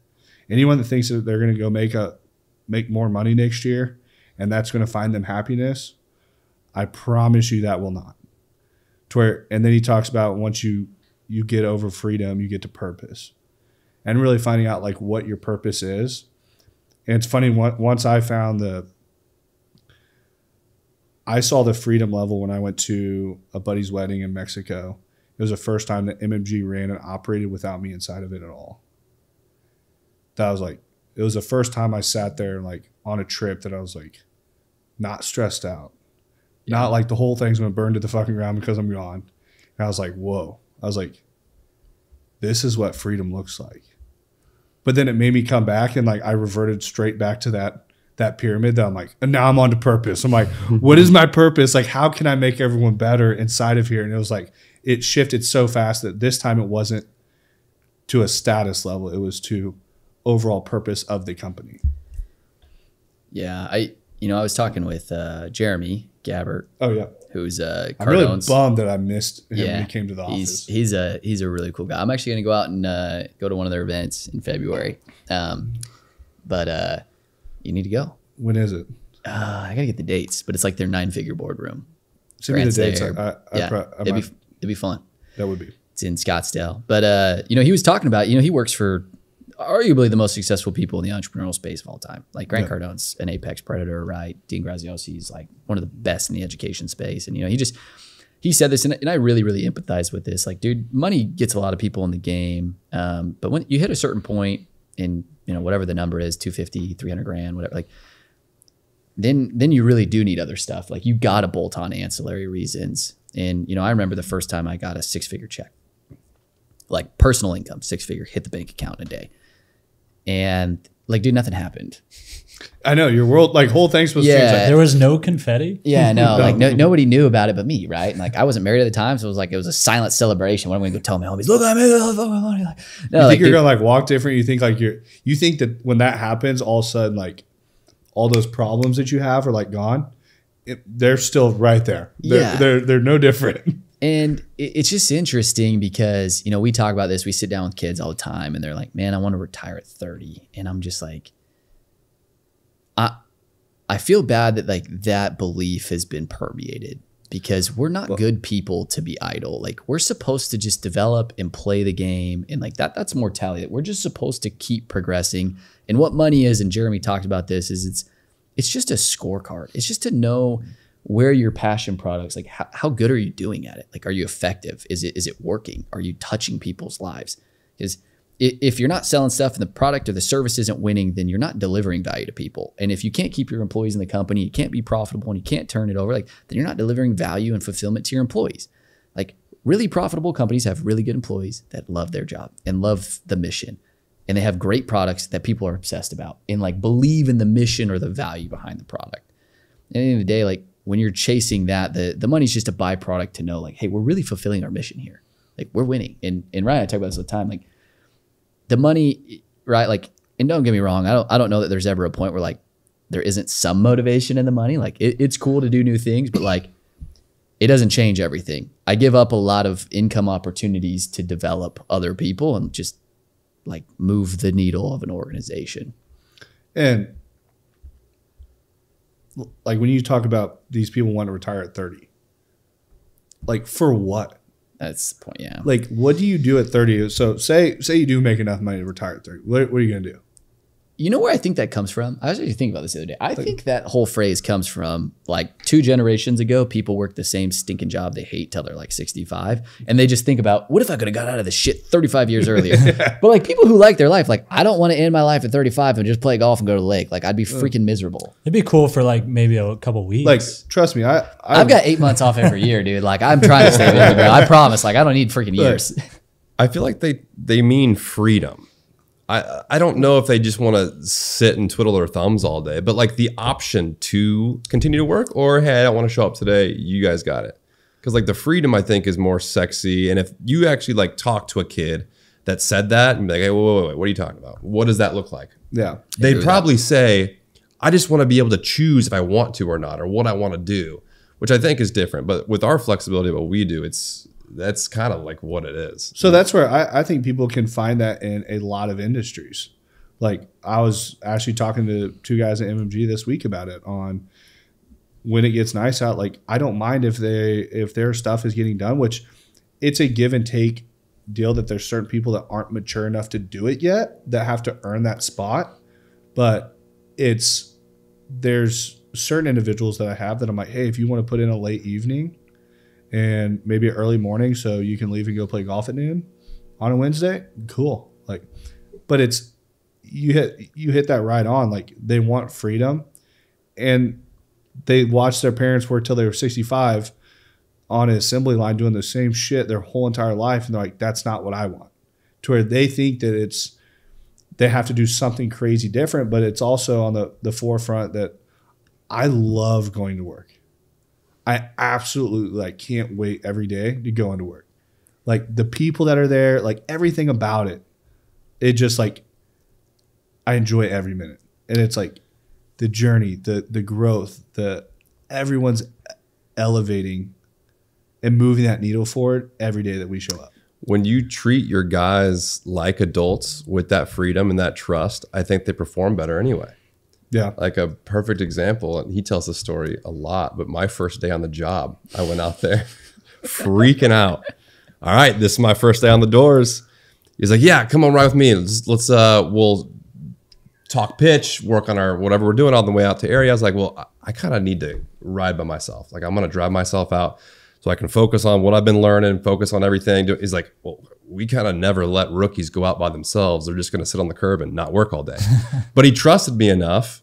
I, granted, I'm an older rookie than normal, but he trusted me enough to feel for me. He was like, "All right, we'll let we'll we'll try it out. You drive out there, see if you're like 90 percent of the rookies that I'm used to, who are just going to go to the park and just He's just thumbs." jamming a Taylor Swift player the whole drive.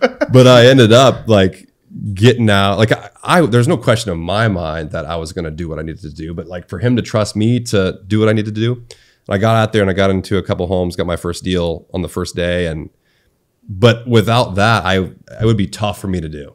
Just I needed that. and it's also unique in and this is why it happens in the car space where sales guys are given freedom on what they do every day and you have some guys that go in and they excel and then you have some guys that just drop off because they're not held to what they have to do and it's hard sometimes like i mean it's something we navigate all the time with you have salary employees that they'll sit there and play on their phone all day if you gave them the option Oh yeah. that it's like not everyone's driven the same way to and I don't expect people to come in off the street and day one be sold on the vision.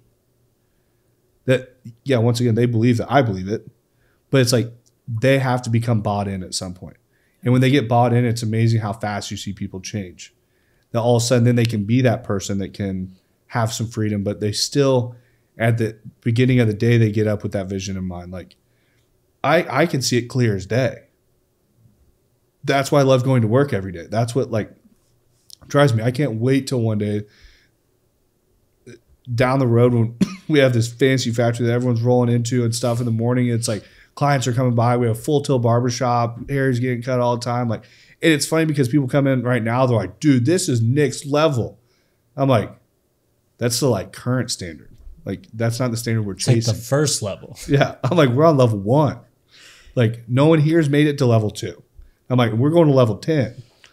But it's like, that's what you're you're watching, but it's that freedom is a huge part of it. And it's it, it, it is hard trusting people when sometimes you give them a little trust and then they they neglect it really quickly, then it's like it's really hard to gain that back. So that's and on a hundred percent commission based job, it's like, hey, you go out, you didn't sell shit, you ain't get paid shit. like, I mean, the destiny, your destiny's in your hands when you go out. So Yeah, I it's interesting. I've just seven years of building teams and and running the operation.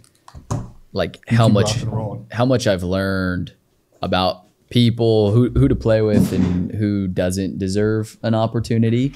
And I've definitely like made a lot of mistakes. And Ryan's actually been like even this last year, like I think a lot of people came to the team, they're like, man, you really haven't figured out. And how much we're changing still. Like we're still carving away. And it's just you never figure it all out. And like I just don't think that's business. I don't think it's life. Like there's never a point where your marriage is all of a sudden just like, oh man, we are just euphoric and it's just amazing every day. And it's just it just always takes effort. Well, and that's what Hormozi says, right? It's like it's not uh, it's not a finite game.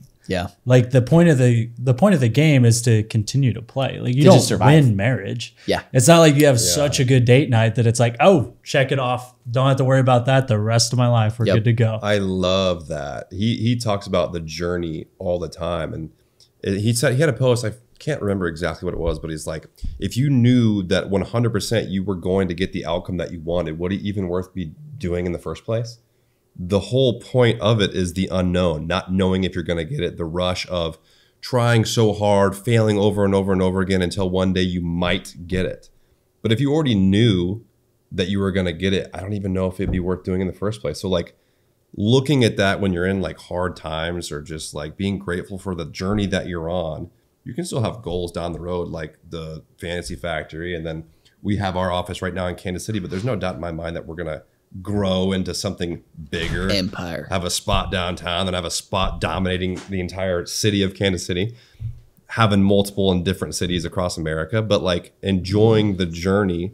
Again, not knowing if we're even going to get there, but that's why we do it. The whole journey is the whole part.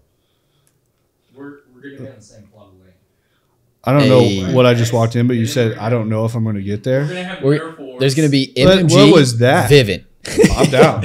We're gonna have a a sister. We're just gonna have a giant compound. We'll have one of the big catwalks across top. Yeah, yeah. And then we'll all the reps will come over and do all their content. Yeah. And then we'll have sales meeting, and it just comes right back over. Yeah. You guys can train our sales department. Exactly. It'll be You sick. put it in Yeah. one pocket and then we take yeah, we'll I out. think just- they. Uh, There'll be a mutual weight room yeah. that so- just like spans like Alpha, So Alpha Gym in Texas. I mean, you guys have some time off during the year, right? This A is little bit. Yeah, that's, that is true. That's- you guys could just become the MMG sales force. We just we just need that little bit. yeah. There we go. We just solved our whole problem. mercenary squad. Yeah. Contract killers. you guys are going to be like, wow, this is pretty easy to sell too. dude it's it's funny i've i've actually for my dad's sales floor for his company um most of what they do is like webinars so they don't really have a set they do like one to many sales they're like have a s- really good speaker that can do a one to many presentation but they still have all these leads that come in and you know they start bringing a sales floor back and I've had a couple reps that have just, you know, for whatever personal reasons, the the model just doesn't fit them anymore. And now they they work. I've helped them get a job with my dad, and he's like, dude, I don't know what it is about these freaking door to door guys, man. They kick ass over here. And I'm like, dude, if you put, I'm like, listen, dude, I literally have like a 95% close rate if I step inside the house. Like legitimately, if if they let me through the threshold of that door, it's pretty much daggum willing that that thing's going in. I mean, in this room, I think he's batting it. I think he's got us all. yeah, hundred percent. That's true. I did notice the Vivint on the house. That And, was like, Tyler. I'm like, dude, if somebody knew I was coming, like, call, I'm like, dude, th- we're, we're he did literally- that. Then he got me to take him out to Capitol. Yeah, What a close. That's what I'm talking about. We, you know, we're, we spend some money, uh, get him some clients. We, I try to get everybody I talk to to use MMG. hey, I love it. I love it. Because when we have the compound, I mean, Huh? Anyone that buys a house, we always refer you. That's right. uh, house you be right. Ryan's got Vivint all over his crib. I do. Yeah. um, I got way off track after I went to the bathroom. It's pretty dialed there for a minute. Um, where do you see? I and I may have missed what you guys were talking about when I was gone for like 12 and a half minutes going to the bathroom. Um, where do you see like so Vivint right now? You guys are traveling all over to sell. So is do you guys so you hub out of Kansas City? Yeah, it's it's an interesting model. So we we develop our work like our team at a KC, um, and then during our off season we we go test markets, and so we go train new reps and kind of basically try out reps until the summer. And in the summer, Vivint covers our housing. They take care of all the logistics and they house us up. And so we've ran Chicago the last three years and just dominated that market. And It's possible we'll probably go back to Chicago, but down the road, vision wise, I think to your question, what we see, like we talk about this a lot, it- we want to build the largest decentralized office at Vivint. So it's there's a hub in Salt Lake that's about probably eighty percent of the teams at Vivint. They're all reps from that area, and then there's one in Florida, and it's probably like it might even be bigger. It might be like forty percent now. They're the Florida team's Huge. killing it. They did like eighty thousand accounts last year. They have Damn. you know, five guys that made a million and a half bucks. One dude made six. Like, and what's cool about that, just like everything we talked about, it's not about the money. It's just like when when the lid goes that high, it just provides that many opportunities for everyone else that has a dream to go fulfill their dream in whatever capacity and whatever level it is inside of it. And for us, like our, our pipe dream and like what we're chasing, we truly believe we can do is because we have the ability to employ so many people and teach such a level skill set. Like we want to completely change like Kansas City, where in Utah, like if you go to college at one of those schools out there, like, dude, there's pretty much a 90% chance at some point you will go work for Vivint or try it out and develop yourself, whether you do it for years or you use that to cater to your next ability. Like, we want to raise the standard by giving so many more people opportunities to develop the skill set and leverage it either in Vivint or go on to, you know, dominate their next venture. And that's uh, I've talked about on the podcast a hundred times. I think people should be required to go into sales. I mean, people go in, and I mean, we've had all kinds of fuss lately on us saying stuff about college degrees that people come out of the woodwork, get all bent out of shape about, which is kind of funny because most time people get really defensive when they're wrong. So it's like I've had very level-headed conversations with people, and it's like this skill set that someone can learn in sales and how many different areas it can be used in. And also, it doesn't take you four years to become great at sales. You talk about how, I take that back. Some people it may take that long, but it's also, you talk about how much you can compress into it. That when I came out the gate selling cars, I was not good. And I literally thought, like, dad owns a dealership. I'm gonna be great at this. And I like I was ready. I go on the sales floor and out the gate, everyone's telling me no. I'm like, maybe I'm not so good at this. and there for a little bit, I was like, maybe just sales isn't my thing. And my dad's like, you are not quitting. He goes, you figure out how to become good at this. So I start taking every bit of Grant Cardone's training. Then I'm in every bit of Joe Verde's training. I'm going through all this different sales training. And I'm like trying these word tracks. I'm like, that doesn't work. That doesn't work. And I'm like, I suck at building rapport. And then I'm like, I started becoming better at that. And in the beginning, the one thing that took me the longest to figure out and realize was how to listen to people. That when I first got into sales for the longest time, I was like thinking about what I was going to say. I was predicting what someone was going to say to me. And if I can give anybody a word of advice in sales, they can move you forward so much quicker is learn how to listen faster. That don't think about what you're going to say. I even did when we started the podcast. Like when we first started the podcast, I'm like, I gotta think about what they're saying so I know what to say back. And then somebody would stop and I'm like, oh shit. I was like, I wasn't listening to what they said. I don't know what to say back. So it's like you're, you're processing that in your head. And it's like once I started figuring out how to listen to people, it was crazy how much easier sales got. I'm like, oh, I actually know what I'm overcoming now. Like, I actually know how to solve this. I'm like, I've seen this happen before. I'm like, this is what I need to do. I'm like, and I started like figuring out, and I was like, okay, this isn't that hard. But in the beginning, I made it so hard because I let those no's stack up and affect me emotionally and mentally. And it's also I wasn't listening to people. That you start listening to people, they're going to tell you exactly how to close. Yeah, I one of the we talked about this with with our team, and we, we've been doing more on it. But one of the so Ryan was just one of our he was our top rookie on our team. He's top rookie in our program ever, and one of the things that we identify really quickly, and I I told Ryan about he he brought a guy on, and I you know the first day I was like this dude's gonna suck. He's like, how do you know? I'm like, well, I dropped him off, and he just walked laps around, like didn't touch a door ever. Just pulled out his iPad. He was like so scared he could he barely get out of my flipping car. I'm like, all right, dude, get out of the car. like, I gotta go. But Ryan, like, the second he had the chance, like, door, door, door. No idea what he's doing. And it, it really is in sales, like, just like in basketball or football or any sport, dude. Like, you can watch film as much as you freaking want. If you want to have a smooth crossover, you got to rep it hundreds of thousands of times. Like, if you want to know how to read a defense and you're a safety, like, you got to see the offense play a lot. And you got to real time go and make decisions until it's fluid and it becomes instinctive.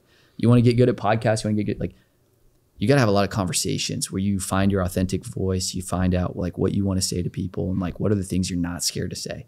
Sales, same thing. Like, you want to get good, you've got to get at bats quick and you got to be, you got to give zeros about the result because everyone's so scared about like, what if I miss the deal? What if I mess it up?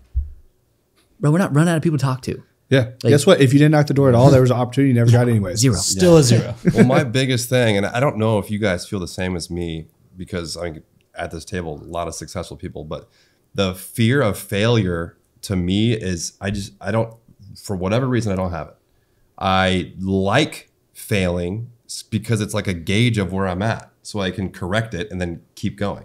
So I think a lot of people that are kind of scared to fail almost act too cool for school because they don't even want to try it to begin with. Because what if I fail? Then I can't live with myself or I can't look at myself because I'll have to admit that I tried my hardest and didn't get to where I thought I could.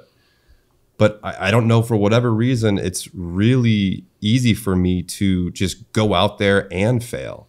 And I would argue the reason that I succeed in a lot of things pretty quickly is because I do fail so often. So then I can learn, correct things, and then become good at it because I think failure is like the first step into becoming next level of good. And people that are scared to even get in that in the first place don't know what the next level is. And I used to like try to, I don't know, kind of, I would look at fear as failure. Fear is not failure. That is, I I look at or I look at failures as like being fearful of those, which I've I look at it now as those are lessons that we're learning to progress forward Oh yeah. that no one that you know, there's not a single human being out there that has made a perfect decision every single time they ever made decisions. You're not going to meet that person. I'm not even sure if this fast is a good idea. But we're, we're deep, dude. I mean, I can say that was probably a bad idea, but whatever. That's, that's just me.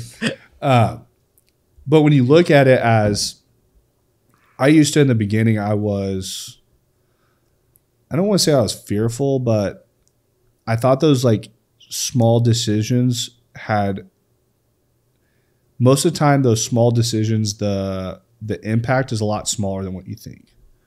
So if you go mess up that one sale at that one door and that one person says no, they think that's a, that's like a, a landslide to what's going on. Like, and when I started first making phone calls in the dealership, like I didn't get leads. Like, I'm the owner's son, so I didn't get any leads. And I'm like, what, what do I do? They're like, well, we have 8,000 people in our CRM that from the last four years, you can go call those people. So I'm calling people that have no interest in a car. Like they are not in market. It is not a hot lead. It is as cold as possible. And they're calling, they're like, uh, who is this? And people are like, fuck you, like hanging up, hanging up, hanging up. And I'm like, I go in my dad's office like first day, it's like noon. I'm like, Dad, I don't like this. like, I'm like, this is not cool. I'm like, not cool at all.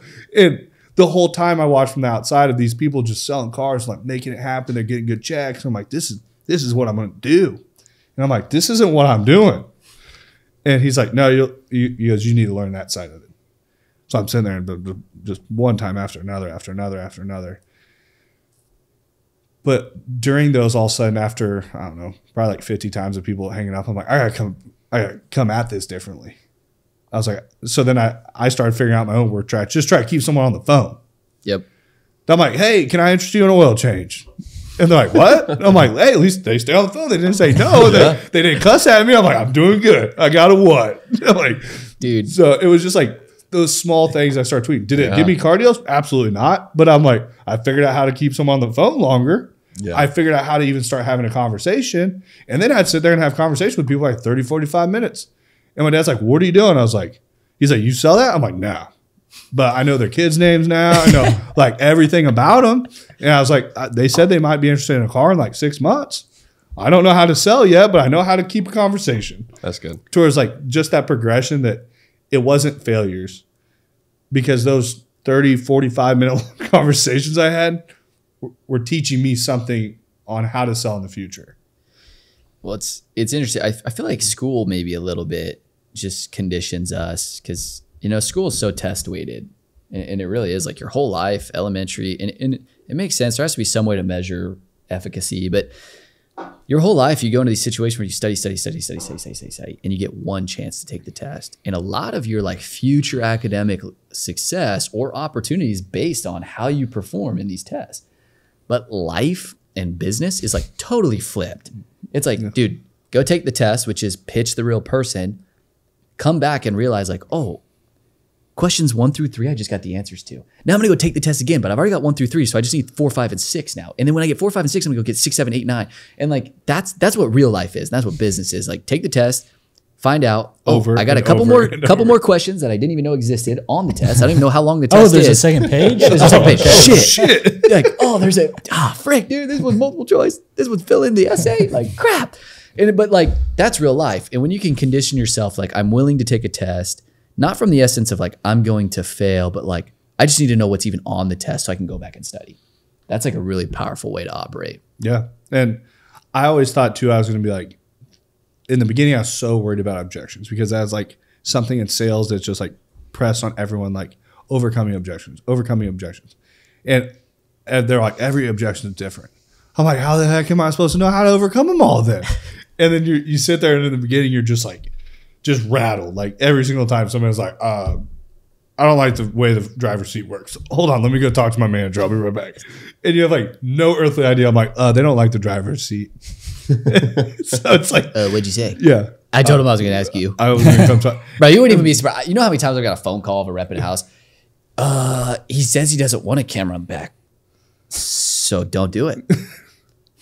what? but I talked about one on the back. Well, tell him he doesn't need one. I, what do you want? I, what, what are you calling me for? Like, are you in the house? Yeah, I'm in the house. Are they sitting across the table from you? Yeah, yeah, yeah. Why are you on the phone with me? Send me a pin. I'm coming over. but it's like it's it's funny when those like objections start happening. That then fast forward X amount of years, I'm sitting in the management spot and I have a new sales guy that's coming in like doing the same shit. I'm like, are you serious? Are you serious right now? But it's like they're freaking out because every objection that they're getting, they're like, I, they have no earthly idea how to overcome it. And I'm like, just tell them we'll fix whatever it is that they don't like. Like, literally, if there's anything wrong with the car, I'm like, if you ever came in here and we not fixed anything, and they're like, uh, yeah, If we couldn't fix it, it wouldn't be on the lot. exactly. And I'm like, so yeah, like, well, there's a scratch on the bumper. They're pretty concerned about. I'm like, Tom we'll fix it. Oh, okay. And I'm like, which, granted, I mean, our, our salespeople that we had could pretty easy sell. Like, they didn't have to sell around things. When I was selling, we had some pretty shitty cars in the beginning. That I'm like broke down on the side of the road. I'm like, so if we get this fixed when we get back, we're like, we in. they're like, well, what do you think it is? I'm like, oh, I don't, know. I'm not a mechanic. I'm like, we, we could be on gas for all I know. And I remember coming back and like cars being pulled into service and everything. I'm like, yeah, we're getting docs ready. We're papering on a deal. and I'm like, whatever it is, we'll fix it. Like we'll make it right. But it's I don't know what it is.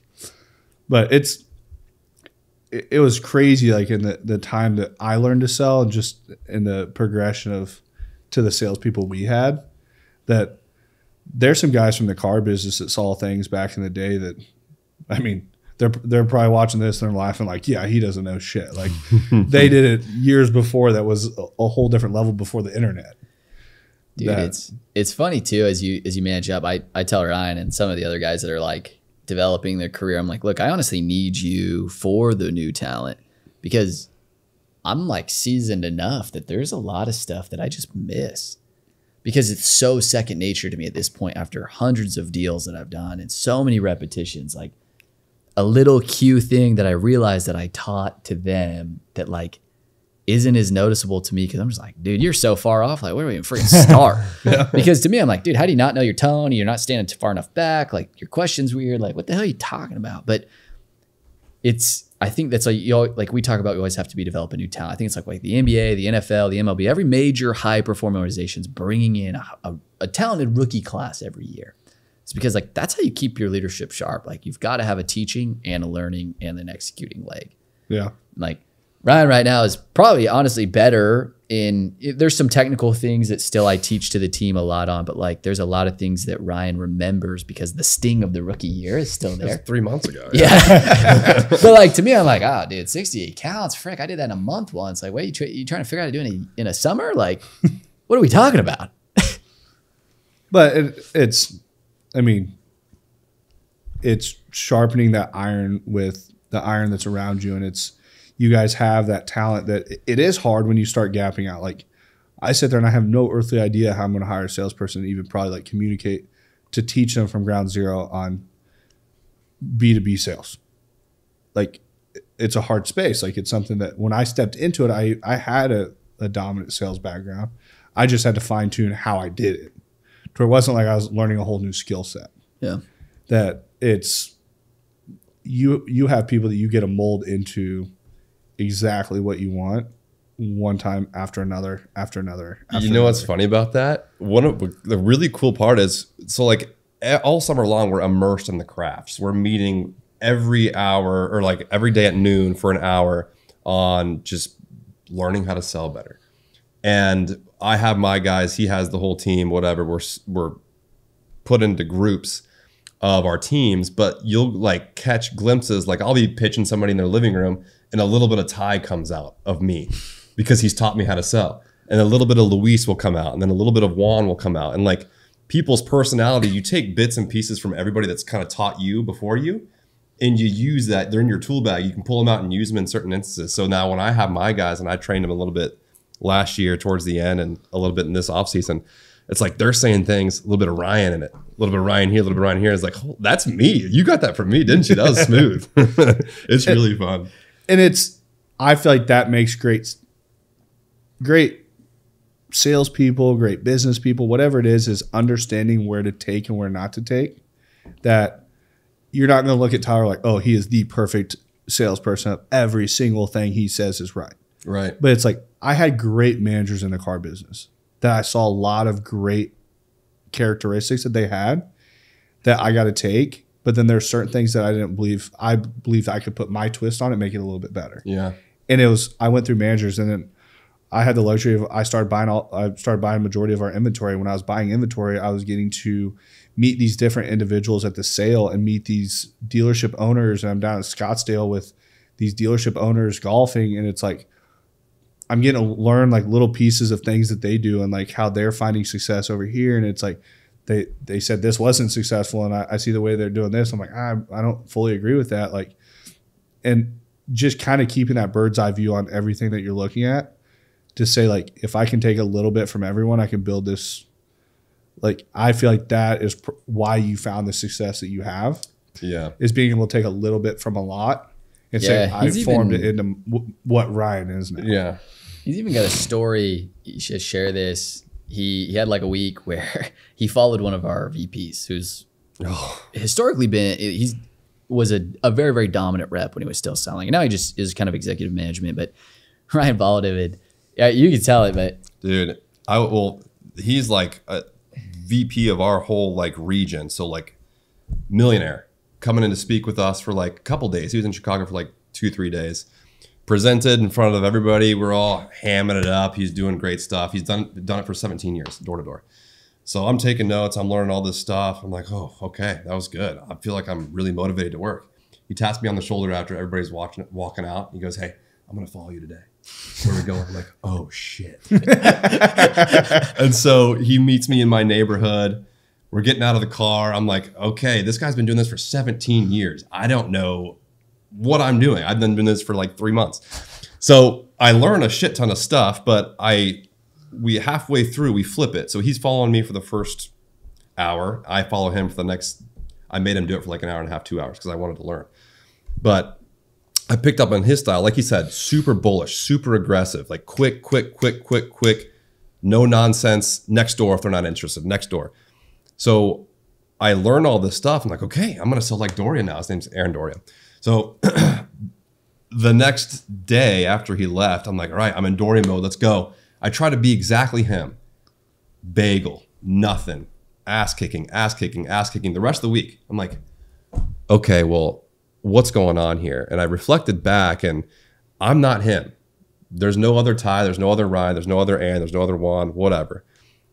It doesn't seem as authentic to the customer if you're not being your true self. So I was like, okay, that went way overboard. I try to be Aaron here. I'm gonna tether it back and pick up on like two or three things that he does, but then the rest is Ryan. And then double digit week. 10 right off the bat. I was like, okay, this is where I need to stay. This this works for me. This works a lot better. Yeah. And that's that's having that personality selling. Yeah. And I feel like people can read right through that when you're trying to be someone you're not. For sure. That I've I've been in dealerships, I've been all around a lot of salespeople, and it's it almost makes me want to vomit when I start hearing them just like script through something. I'm like, what? Andy Elliott just put down Instagram like three days ago, or where'd you get that? I'm like, I'm like, whose course you going through right now that you just pitched that? Because I am watching your weak ass and nothing like that's coming out your mouth. Yeah. And it's like, there's a point when there's somebody that's that aggressive and that in your face that's like that over the top confident in what they're doing. When they say that, it flows right into it.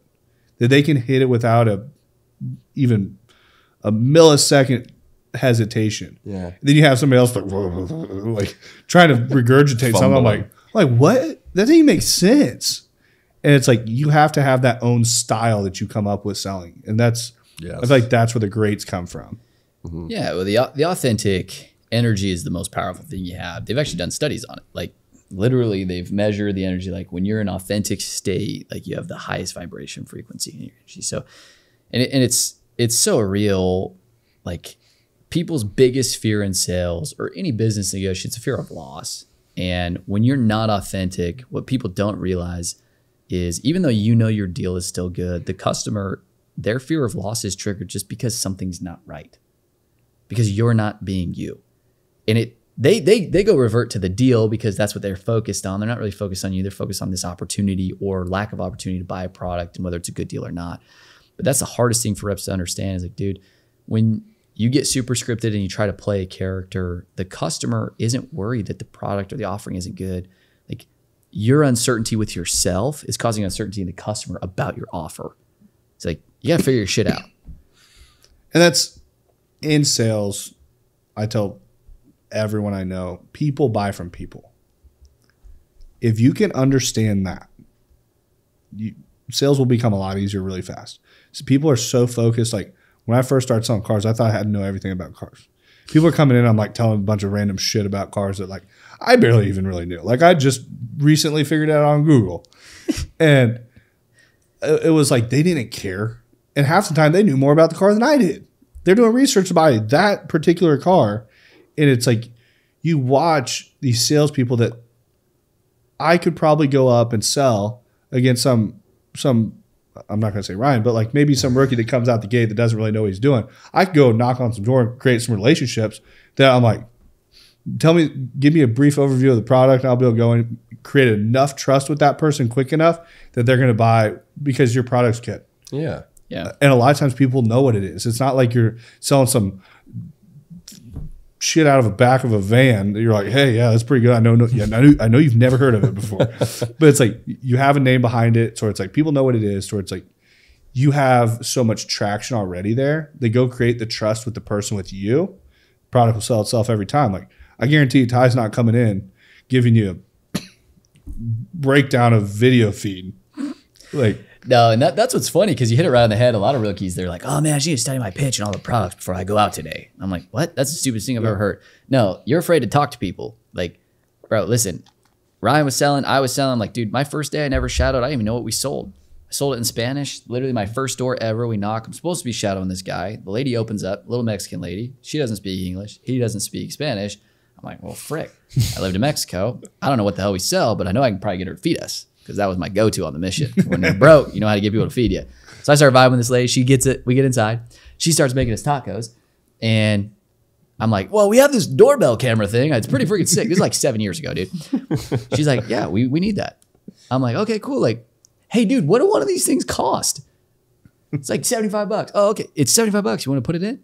Like, that was literally my clothes. It was terrible. But she bought, like, we got it installed. And it, it it's so, so true. Like, if you have a real product and you have a real service, if you can just realize, like, dude, your first and foremost responsibility is just connect that person to look at it.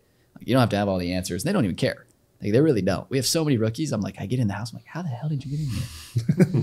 Because they're just goobers. Yeah. And then they're in there and they're saying the craziest shit. I'm like, I would never say that, but I, I it's, it, It's it- working it- for you. Yeah, it, it like it like it like builds so much confidence in me. Like, oh, like dude, he's just being him, and like these people are just vibing with it. And I'm like, that's amazing because I would have never done this. I'd have been so uncomfortable if you'd have said something like that in my house, dude. But that just is what it is. People know that they're being real. Yeah, and I think when you you can implement that just time and time again, and it's I don't know. I, I think people complicate sales so quickly, and if you keep it just stupid simple, people buy from people and get people like you, and that's being genuine too. Like if I feel like I've been pretty good at reading people, like I can tell if somebody just wants my wants a sale from me or something, and you people can read if you're desperate. Mm-hmm. And it's like when people get into Commission sale- breath. Commission breath. and it's you read it, you can I spot it that fast, and it's like it makes me literally to a point like even if I want what it is really bad, I don't want to buy it from that person. I'm like I've literally had somebody knock at my door that was the most cringeworthy door sale that I still went with the product, but I called to have somebody come out. that I'm like, this dude is not coming to my house. I'm like, but it's I don't people know that they can read that. So it's like, how do you how do you overcome that? Yeah, it's dude, I I think just that abundance mindset, that's probably one of the things that we talk about the most. Like, dude, if you're one, like finance and we, we, why we teach finances so much, because I, I genuinely believe when you're at a place of financial stability or security and you're like you're living within your means, then you're not itching and you don't make stupid decisions, you don't say stupid stuff. Like you're just genuinely filling and living your purpose a little bit more. We're out there and it's like I think this is where one of Ryan's secret weapons as a rookie was like he really didn't care about money. Like he'd lived a happy life at thirty thousand dollars a year and was like, dude, I I'm chilling. Like I just need a bigger arena to go competing in. It wasn't even really the money. And so like the that was just a byproduct. But so many people are chasing what they think that's going to give them. So they're so nervous.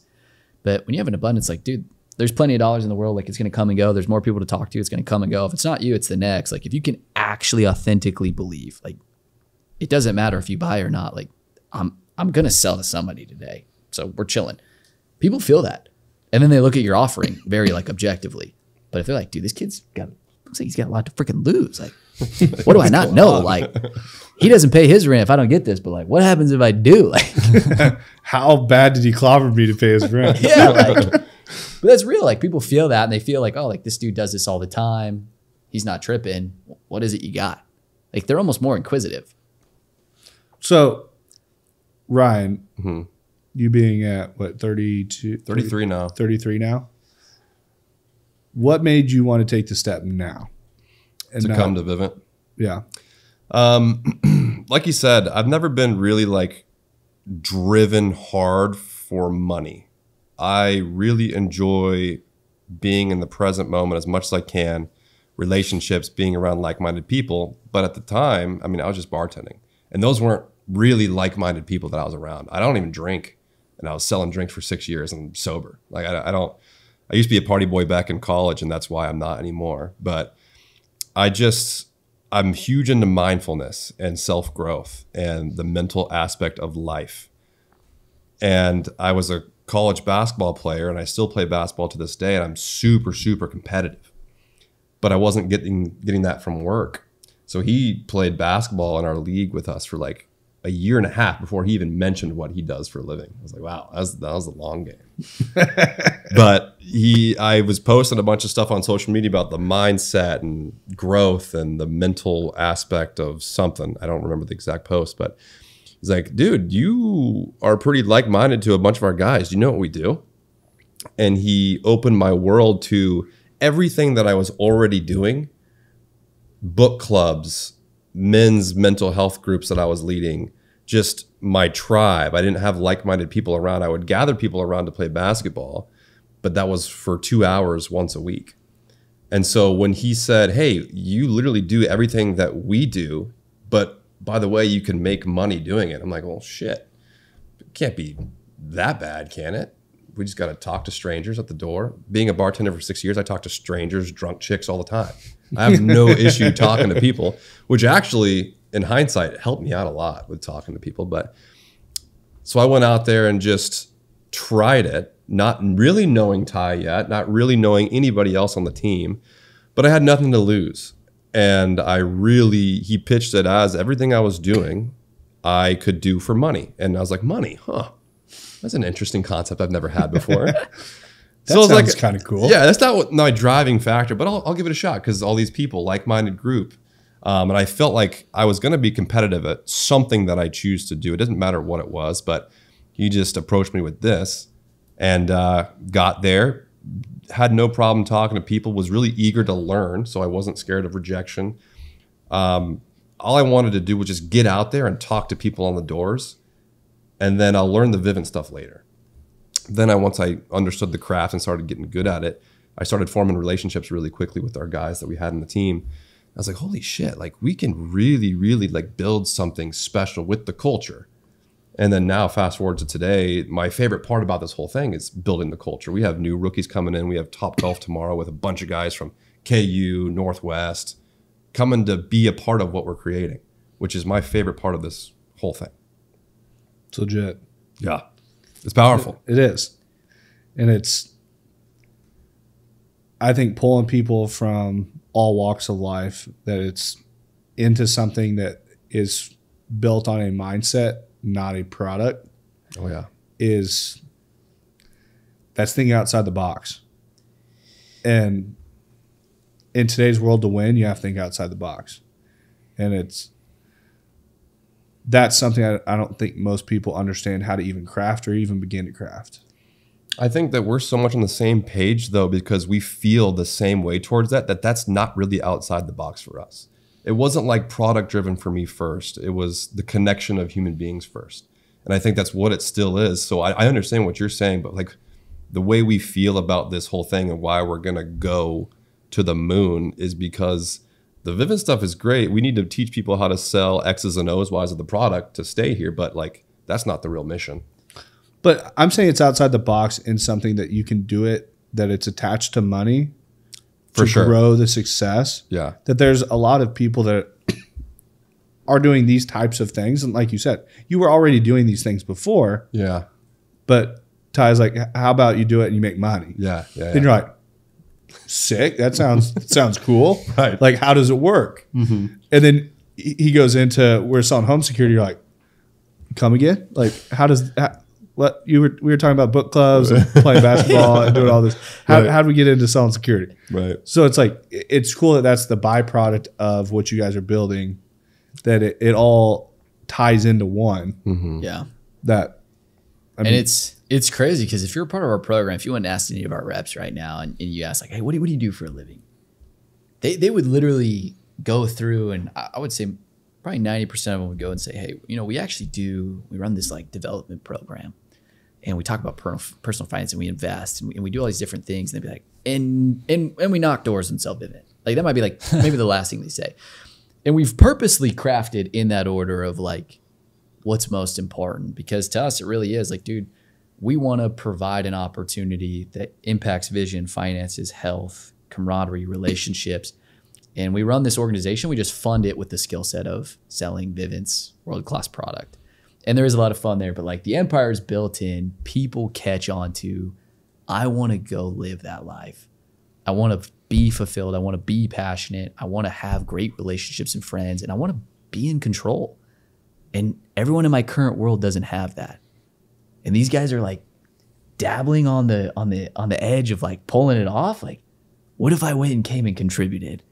And, and that's what's like so fun and special is like the door to door. It's just like to us, I, I kind of describe it to people. I'm like, that's like our accounting.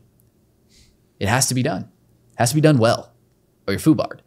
But like our real business is is this other stuff, and like this product that we sell for Vivint, it's just the necessary thing that you got to be skilled at to afford to be here. And and the funny thing is, probably 15 years ago, you walk in with a whiteboard, you put this all up, they'd be like, "You lost your goddamn mind, dude." You know what's like, crazy is- get it out of here. What's crazy is we still feel like we go to events sometimes, and it's like, you know, I speak at a lot of event stuff, and we'll, we'll have there's 150 teams. Like there's a there's a we're a, we're a small piece of the the Vivint ecosystem. It's, it's a 100 billion dollar company, right? It's huge, and people will say like, we've never heard anybody talk about it like this. Like there's literally people in Utah that like they're just like, dude, I just thought I was gonna, get a good job and I want to make 200k and like that. That's like, that's the lid for me, dude. Like that's as far as I can think. If I'm a manager, I make 400. I can make it to a regional one day. Maybe I'll make 700. I'm like, dude, I don't, I don't give a shit. Like, like you're missing the whole mark. You have a chance to build an empire here and impact so many people's lives. Like, how do you not get this? and that's once again, people view it from a money position. Yeah, That it's like you go find that ceiling really fast. There is nothing worse than having that ceiling. Like, and it's something I've tried crafting within MMG, which I need to even get better at crafting it, is giving as much runway as someone wants. And it's we've we've opened the doors to to selling, and I probably need to be better at teaching that all the time, which uh, I'll take fault for that. But it's in the car business. I came right out the gate, right out of college, and I was making great money. I had the house, I had the cars, I had all the things that most people think are making it. But I fucking hated my life. I was like, I live at work. I've figured out what my max pay is, and this is what they're saying my value is. Is this dollar and cent that I'm going to trade for the rest of my life? And the funny thing is, you take most people that worked a third of the hours of, that I was working, and they would trade to have my job in a heartbeat every single day. And then three years down the road, they're gonna be like, "This sucks." and it's like I thought I was gonna find like I thought the grass was gonna be way greener on the other side. I thought that I would get all this money, and all of a sudden, every problem I had in my life was fixed. And then you know what? I had a great relationship with my wife, and I got this job. Now we got problems all because I'm never home. It's like, oh, I have kids, and they never see me. It's like you just created a whole new pool of problems. And it's like, so you look at that, and I'm like, if, if I had kids and everything else, and I was like standing at that that crossroad of what the money I had in that life, or money of if this path was I had the family, I, I had everyone else, and it was a third of the money, I would have taken this one all day long. That because I look at my path ends in the car business, and when I left, if I would have ended up on my deathbed, I'm sitting at Liberty Hospital and I'm like, hey, you're not making it through the night. You know how pissed I've been at myself? Like I would have been so mad that three years I never took Madison to lunch because I was at work all the time. That was like I was so mad at myself for like wasting that time. And granted, it's all on perspective how you look at it. It gave me a lot of great relationships. It gave me a great skill set, things like that, to progress into this. But now it's, I mean, Monday I was sitting at the office. I'm like, grab the marketing guys. I'm like, you want to go have sushi? right? Actually, it was on a Tuesday because we were supposed to do tacos. But I'm like, you want to go have sushi? And it's just like, I mean, if it's lunchtime and I want to go somewhere, and um, everyone get goes out to lunch every day, we, it, I want people to enjoy working That's sick. working should be something that is fun. It should be something that is not a just miserable grind all the time.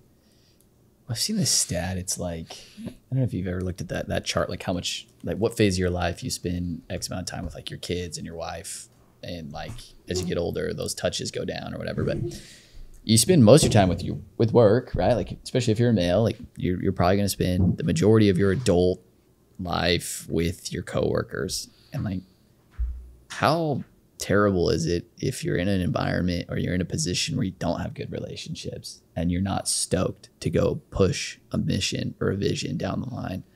And to me i think that's what's so fun about what you guys are building and you know the culture you guys have here. I've been i've get to see it. Like i've been at ground level, man, and it's still In a the lot basement. of yeah, Below. Below. yeah.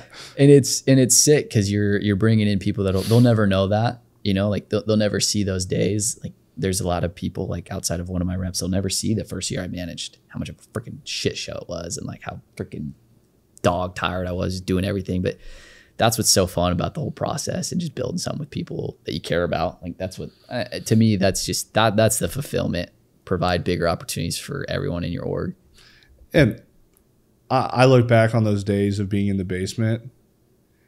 I wish I would. I wish I would have enjoyed those days more.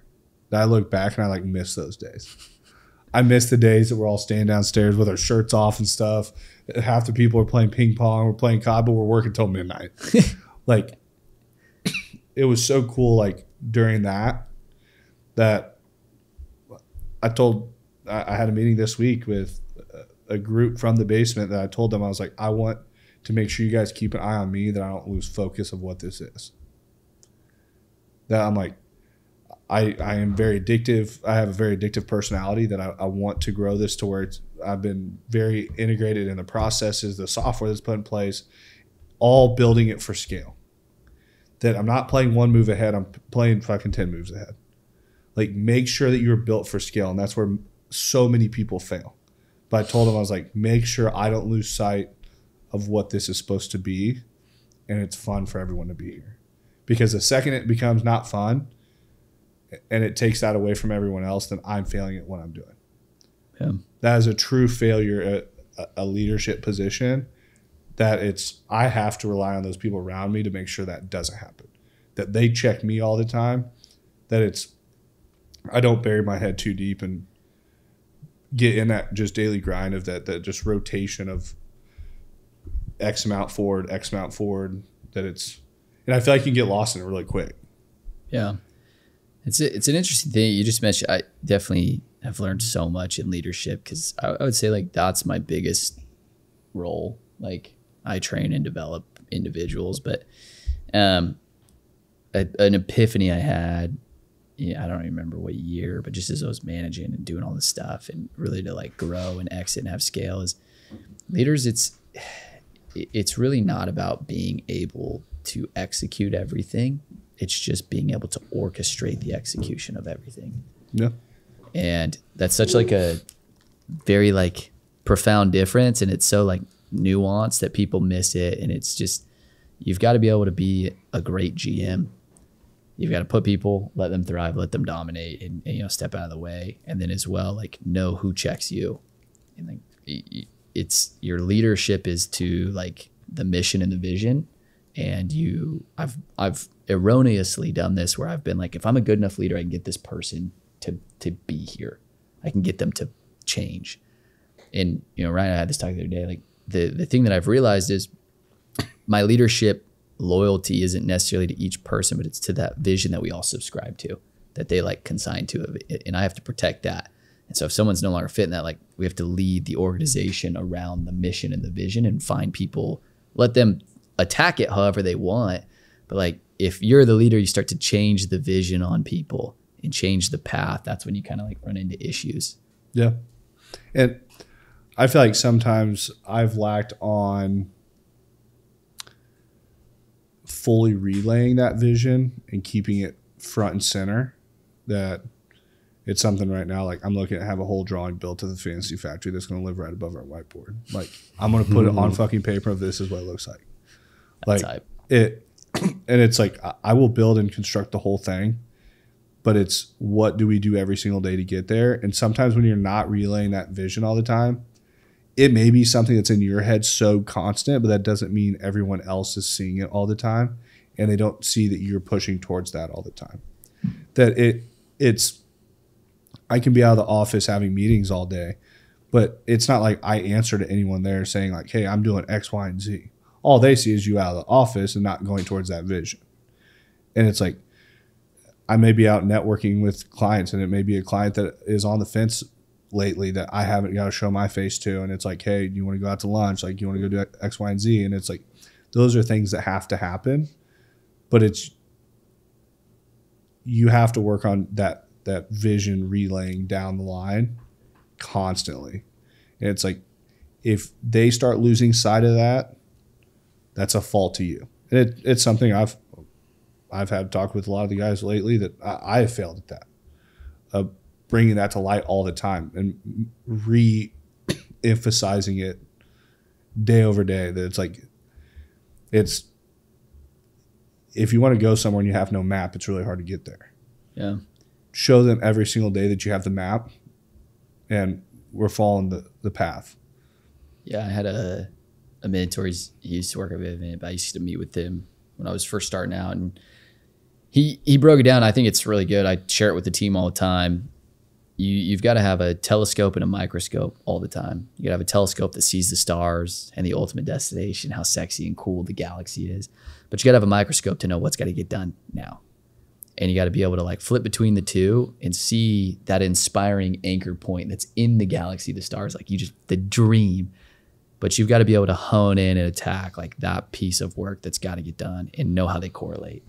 And I think it's just so true. Like it's easy to go like full dream mode or it's easy to go like full task mode. Yeah. But it's a, it's a real like the, the magic happens when you've got both going. It, and I'm, I'm going to say that's a, a talent in its own. Yeah, it's To a be able skill. to run those one, one and another together all the time, because it's really easy when you you you focus on that that far out dream, the stars, and it's like. To me, I've I've told people like it's always just been so clear, like I know how to get there. Like I just reverse engineer all the way back to what has to be done today, but then you end up with that microscope to try. This is what has to be done today for us to get there, and then it's like you go into a month of just hey, this is what has to be done today. This is what has to be done today. Then we're like, where the fuck are we going? Like I see it. And I, Yeah. For me, so yours is the fantasy factory. For me, it's kind of different, and it resonates with me different when I hang around Ty and when I'm after like hanging out with him, doing whatever. But it's how he lives his life or how I'm living my life. So it's not a physical, tangible thing, but like we talked about the freedom before, it's almost like we already have it. It's done. We already have it. And every waking moment of every day, we're acting like we've already had it, which in return attracts it to us. But other people see that, other people feel that. So if you already have it, and it's kind of the abundance thing, you already have it. So just keep on doing what you're doing, being in the present moment, taking step by step in the direction that you want to achieve. Whatever is in the future is whatever, but people feel that now. So when they're around sitting at the table or when they're around watching the presentation of somebody given their training for the day, they feel that. And so when you're immersed in that every day, the summer is super powerful because everybody's with everybody.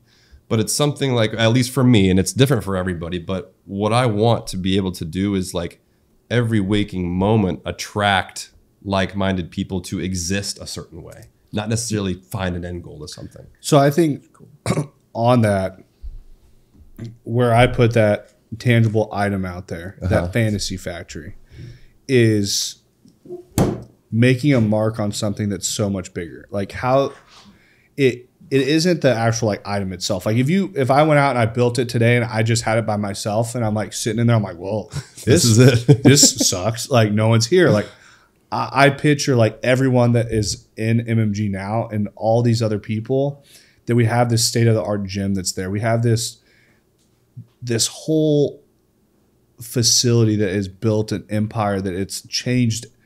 If we get to that point, it's changed everyone's lives. 100%. Yeah. It stands for so much more than just a physical building. And I said if there, and I'm going to retract that statement. I'm going to say when. when we get there, it's changed everyone's lives that are there. And it's like, I feel that is the purpose of it. That the building 100%. itself, like when we moved out of the basement, I, I remember we got the office down the river market and I'm, we're sitting in there.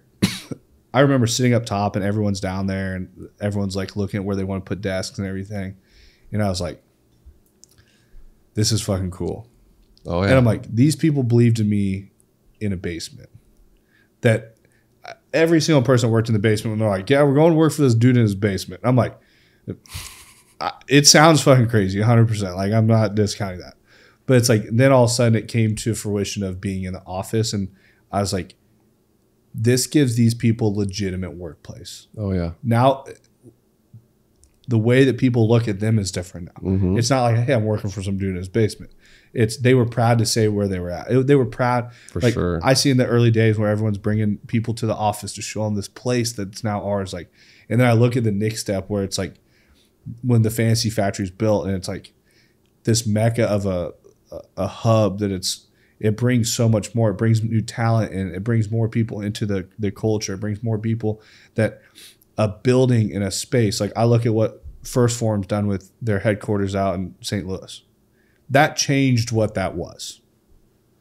That changed First Form forever. That was their mark on what the gold fucking standard is. Yeah. It's like a physical rep- representation of the journey that you've been on, Yeah. which is exactly the same. Yeah, I think it's I feel that for sure. So, what what were you mumbling over there, Dre? Are we about to die out on cameras? No, I already replaced everything. I pulled the photo. The first day we moved uh-huh. in. Let's go. I pulled Yeah. that. I, I don't think I've seen Nate's face that happy in a very long time. No, but it, it was like that was a monumental step. That that was like Yeah. The step that sol- solidified the company, and it's I want to build something that the people within are so proud to be a part of.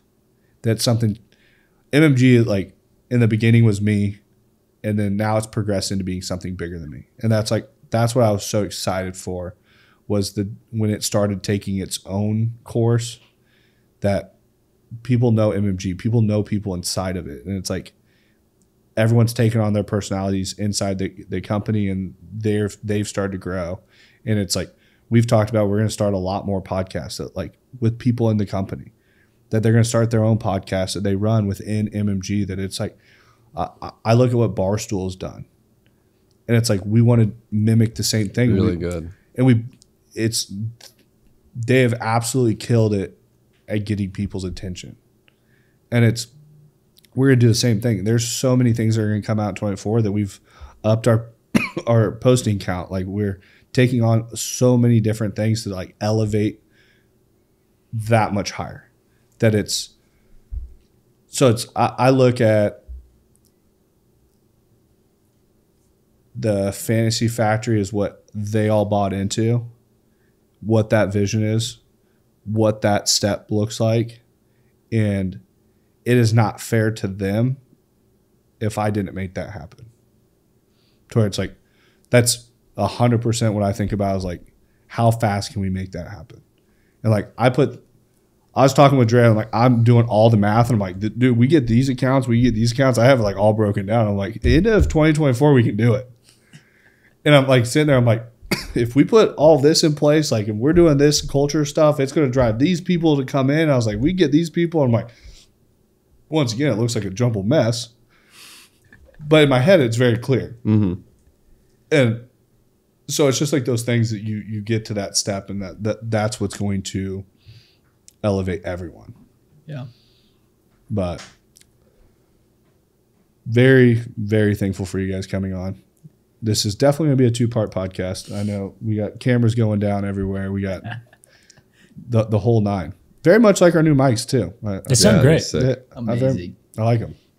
We have to get some more for the office for Tyler's podcast. Yeah. Update me. Mm-hmm. What? I'm not. I'm not going to say that. but uh, we will uh, tag Tyler's podcast, The Money Game, below. Um, definitely go give it a listen. Uh, Ryan gave a whole backstory in that one, so Yeah. that'd be that'd be a cool part too. That if It's a cool episode. yeah. Yes. Tyler, Tyler drops badass episodes all the time, dude. You you get crazy people on and absolutely kill it.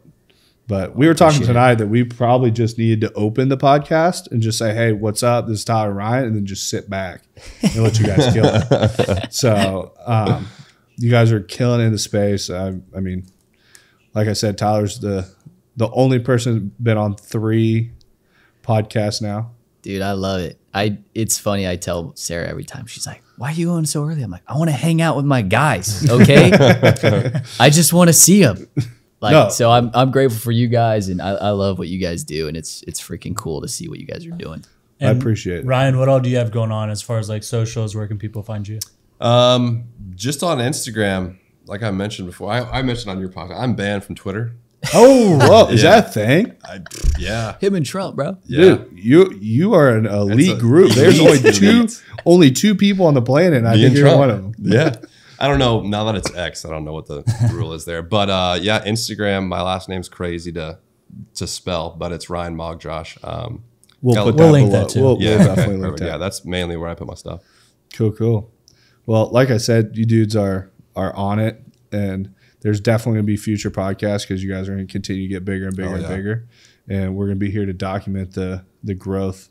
Right here, one day we're gonna do it from our From our, Well, our our- we're gonna sk- put it our on the catwalk across the, On the hanger, Between- yeah. the Yeah. hanger. over the catwalk. We'll uh, there'll be a podcast there one day. Mark my words. So, um, any final thoughts down there, Ricky? No, really enjoyed having you guys on. So, that is the M3 podcast, and we're gonna key Dre. Thanks for listening to the M3 Podcast. Be sure to subscribe so you don't miss the next episode. Want to learn more? Check us out on Instagram at Moss Marketing Group, on Facebook at Moss Marketing 58, or on our website at mossmarketinggroup.com.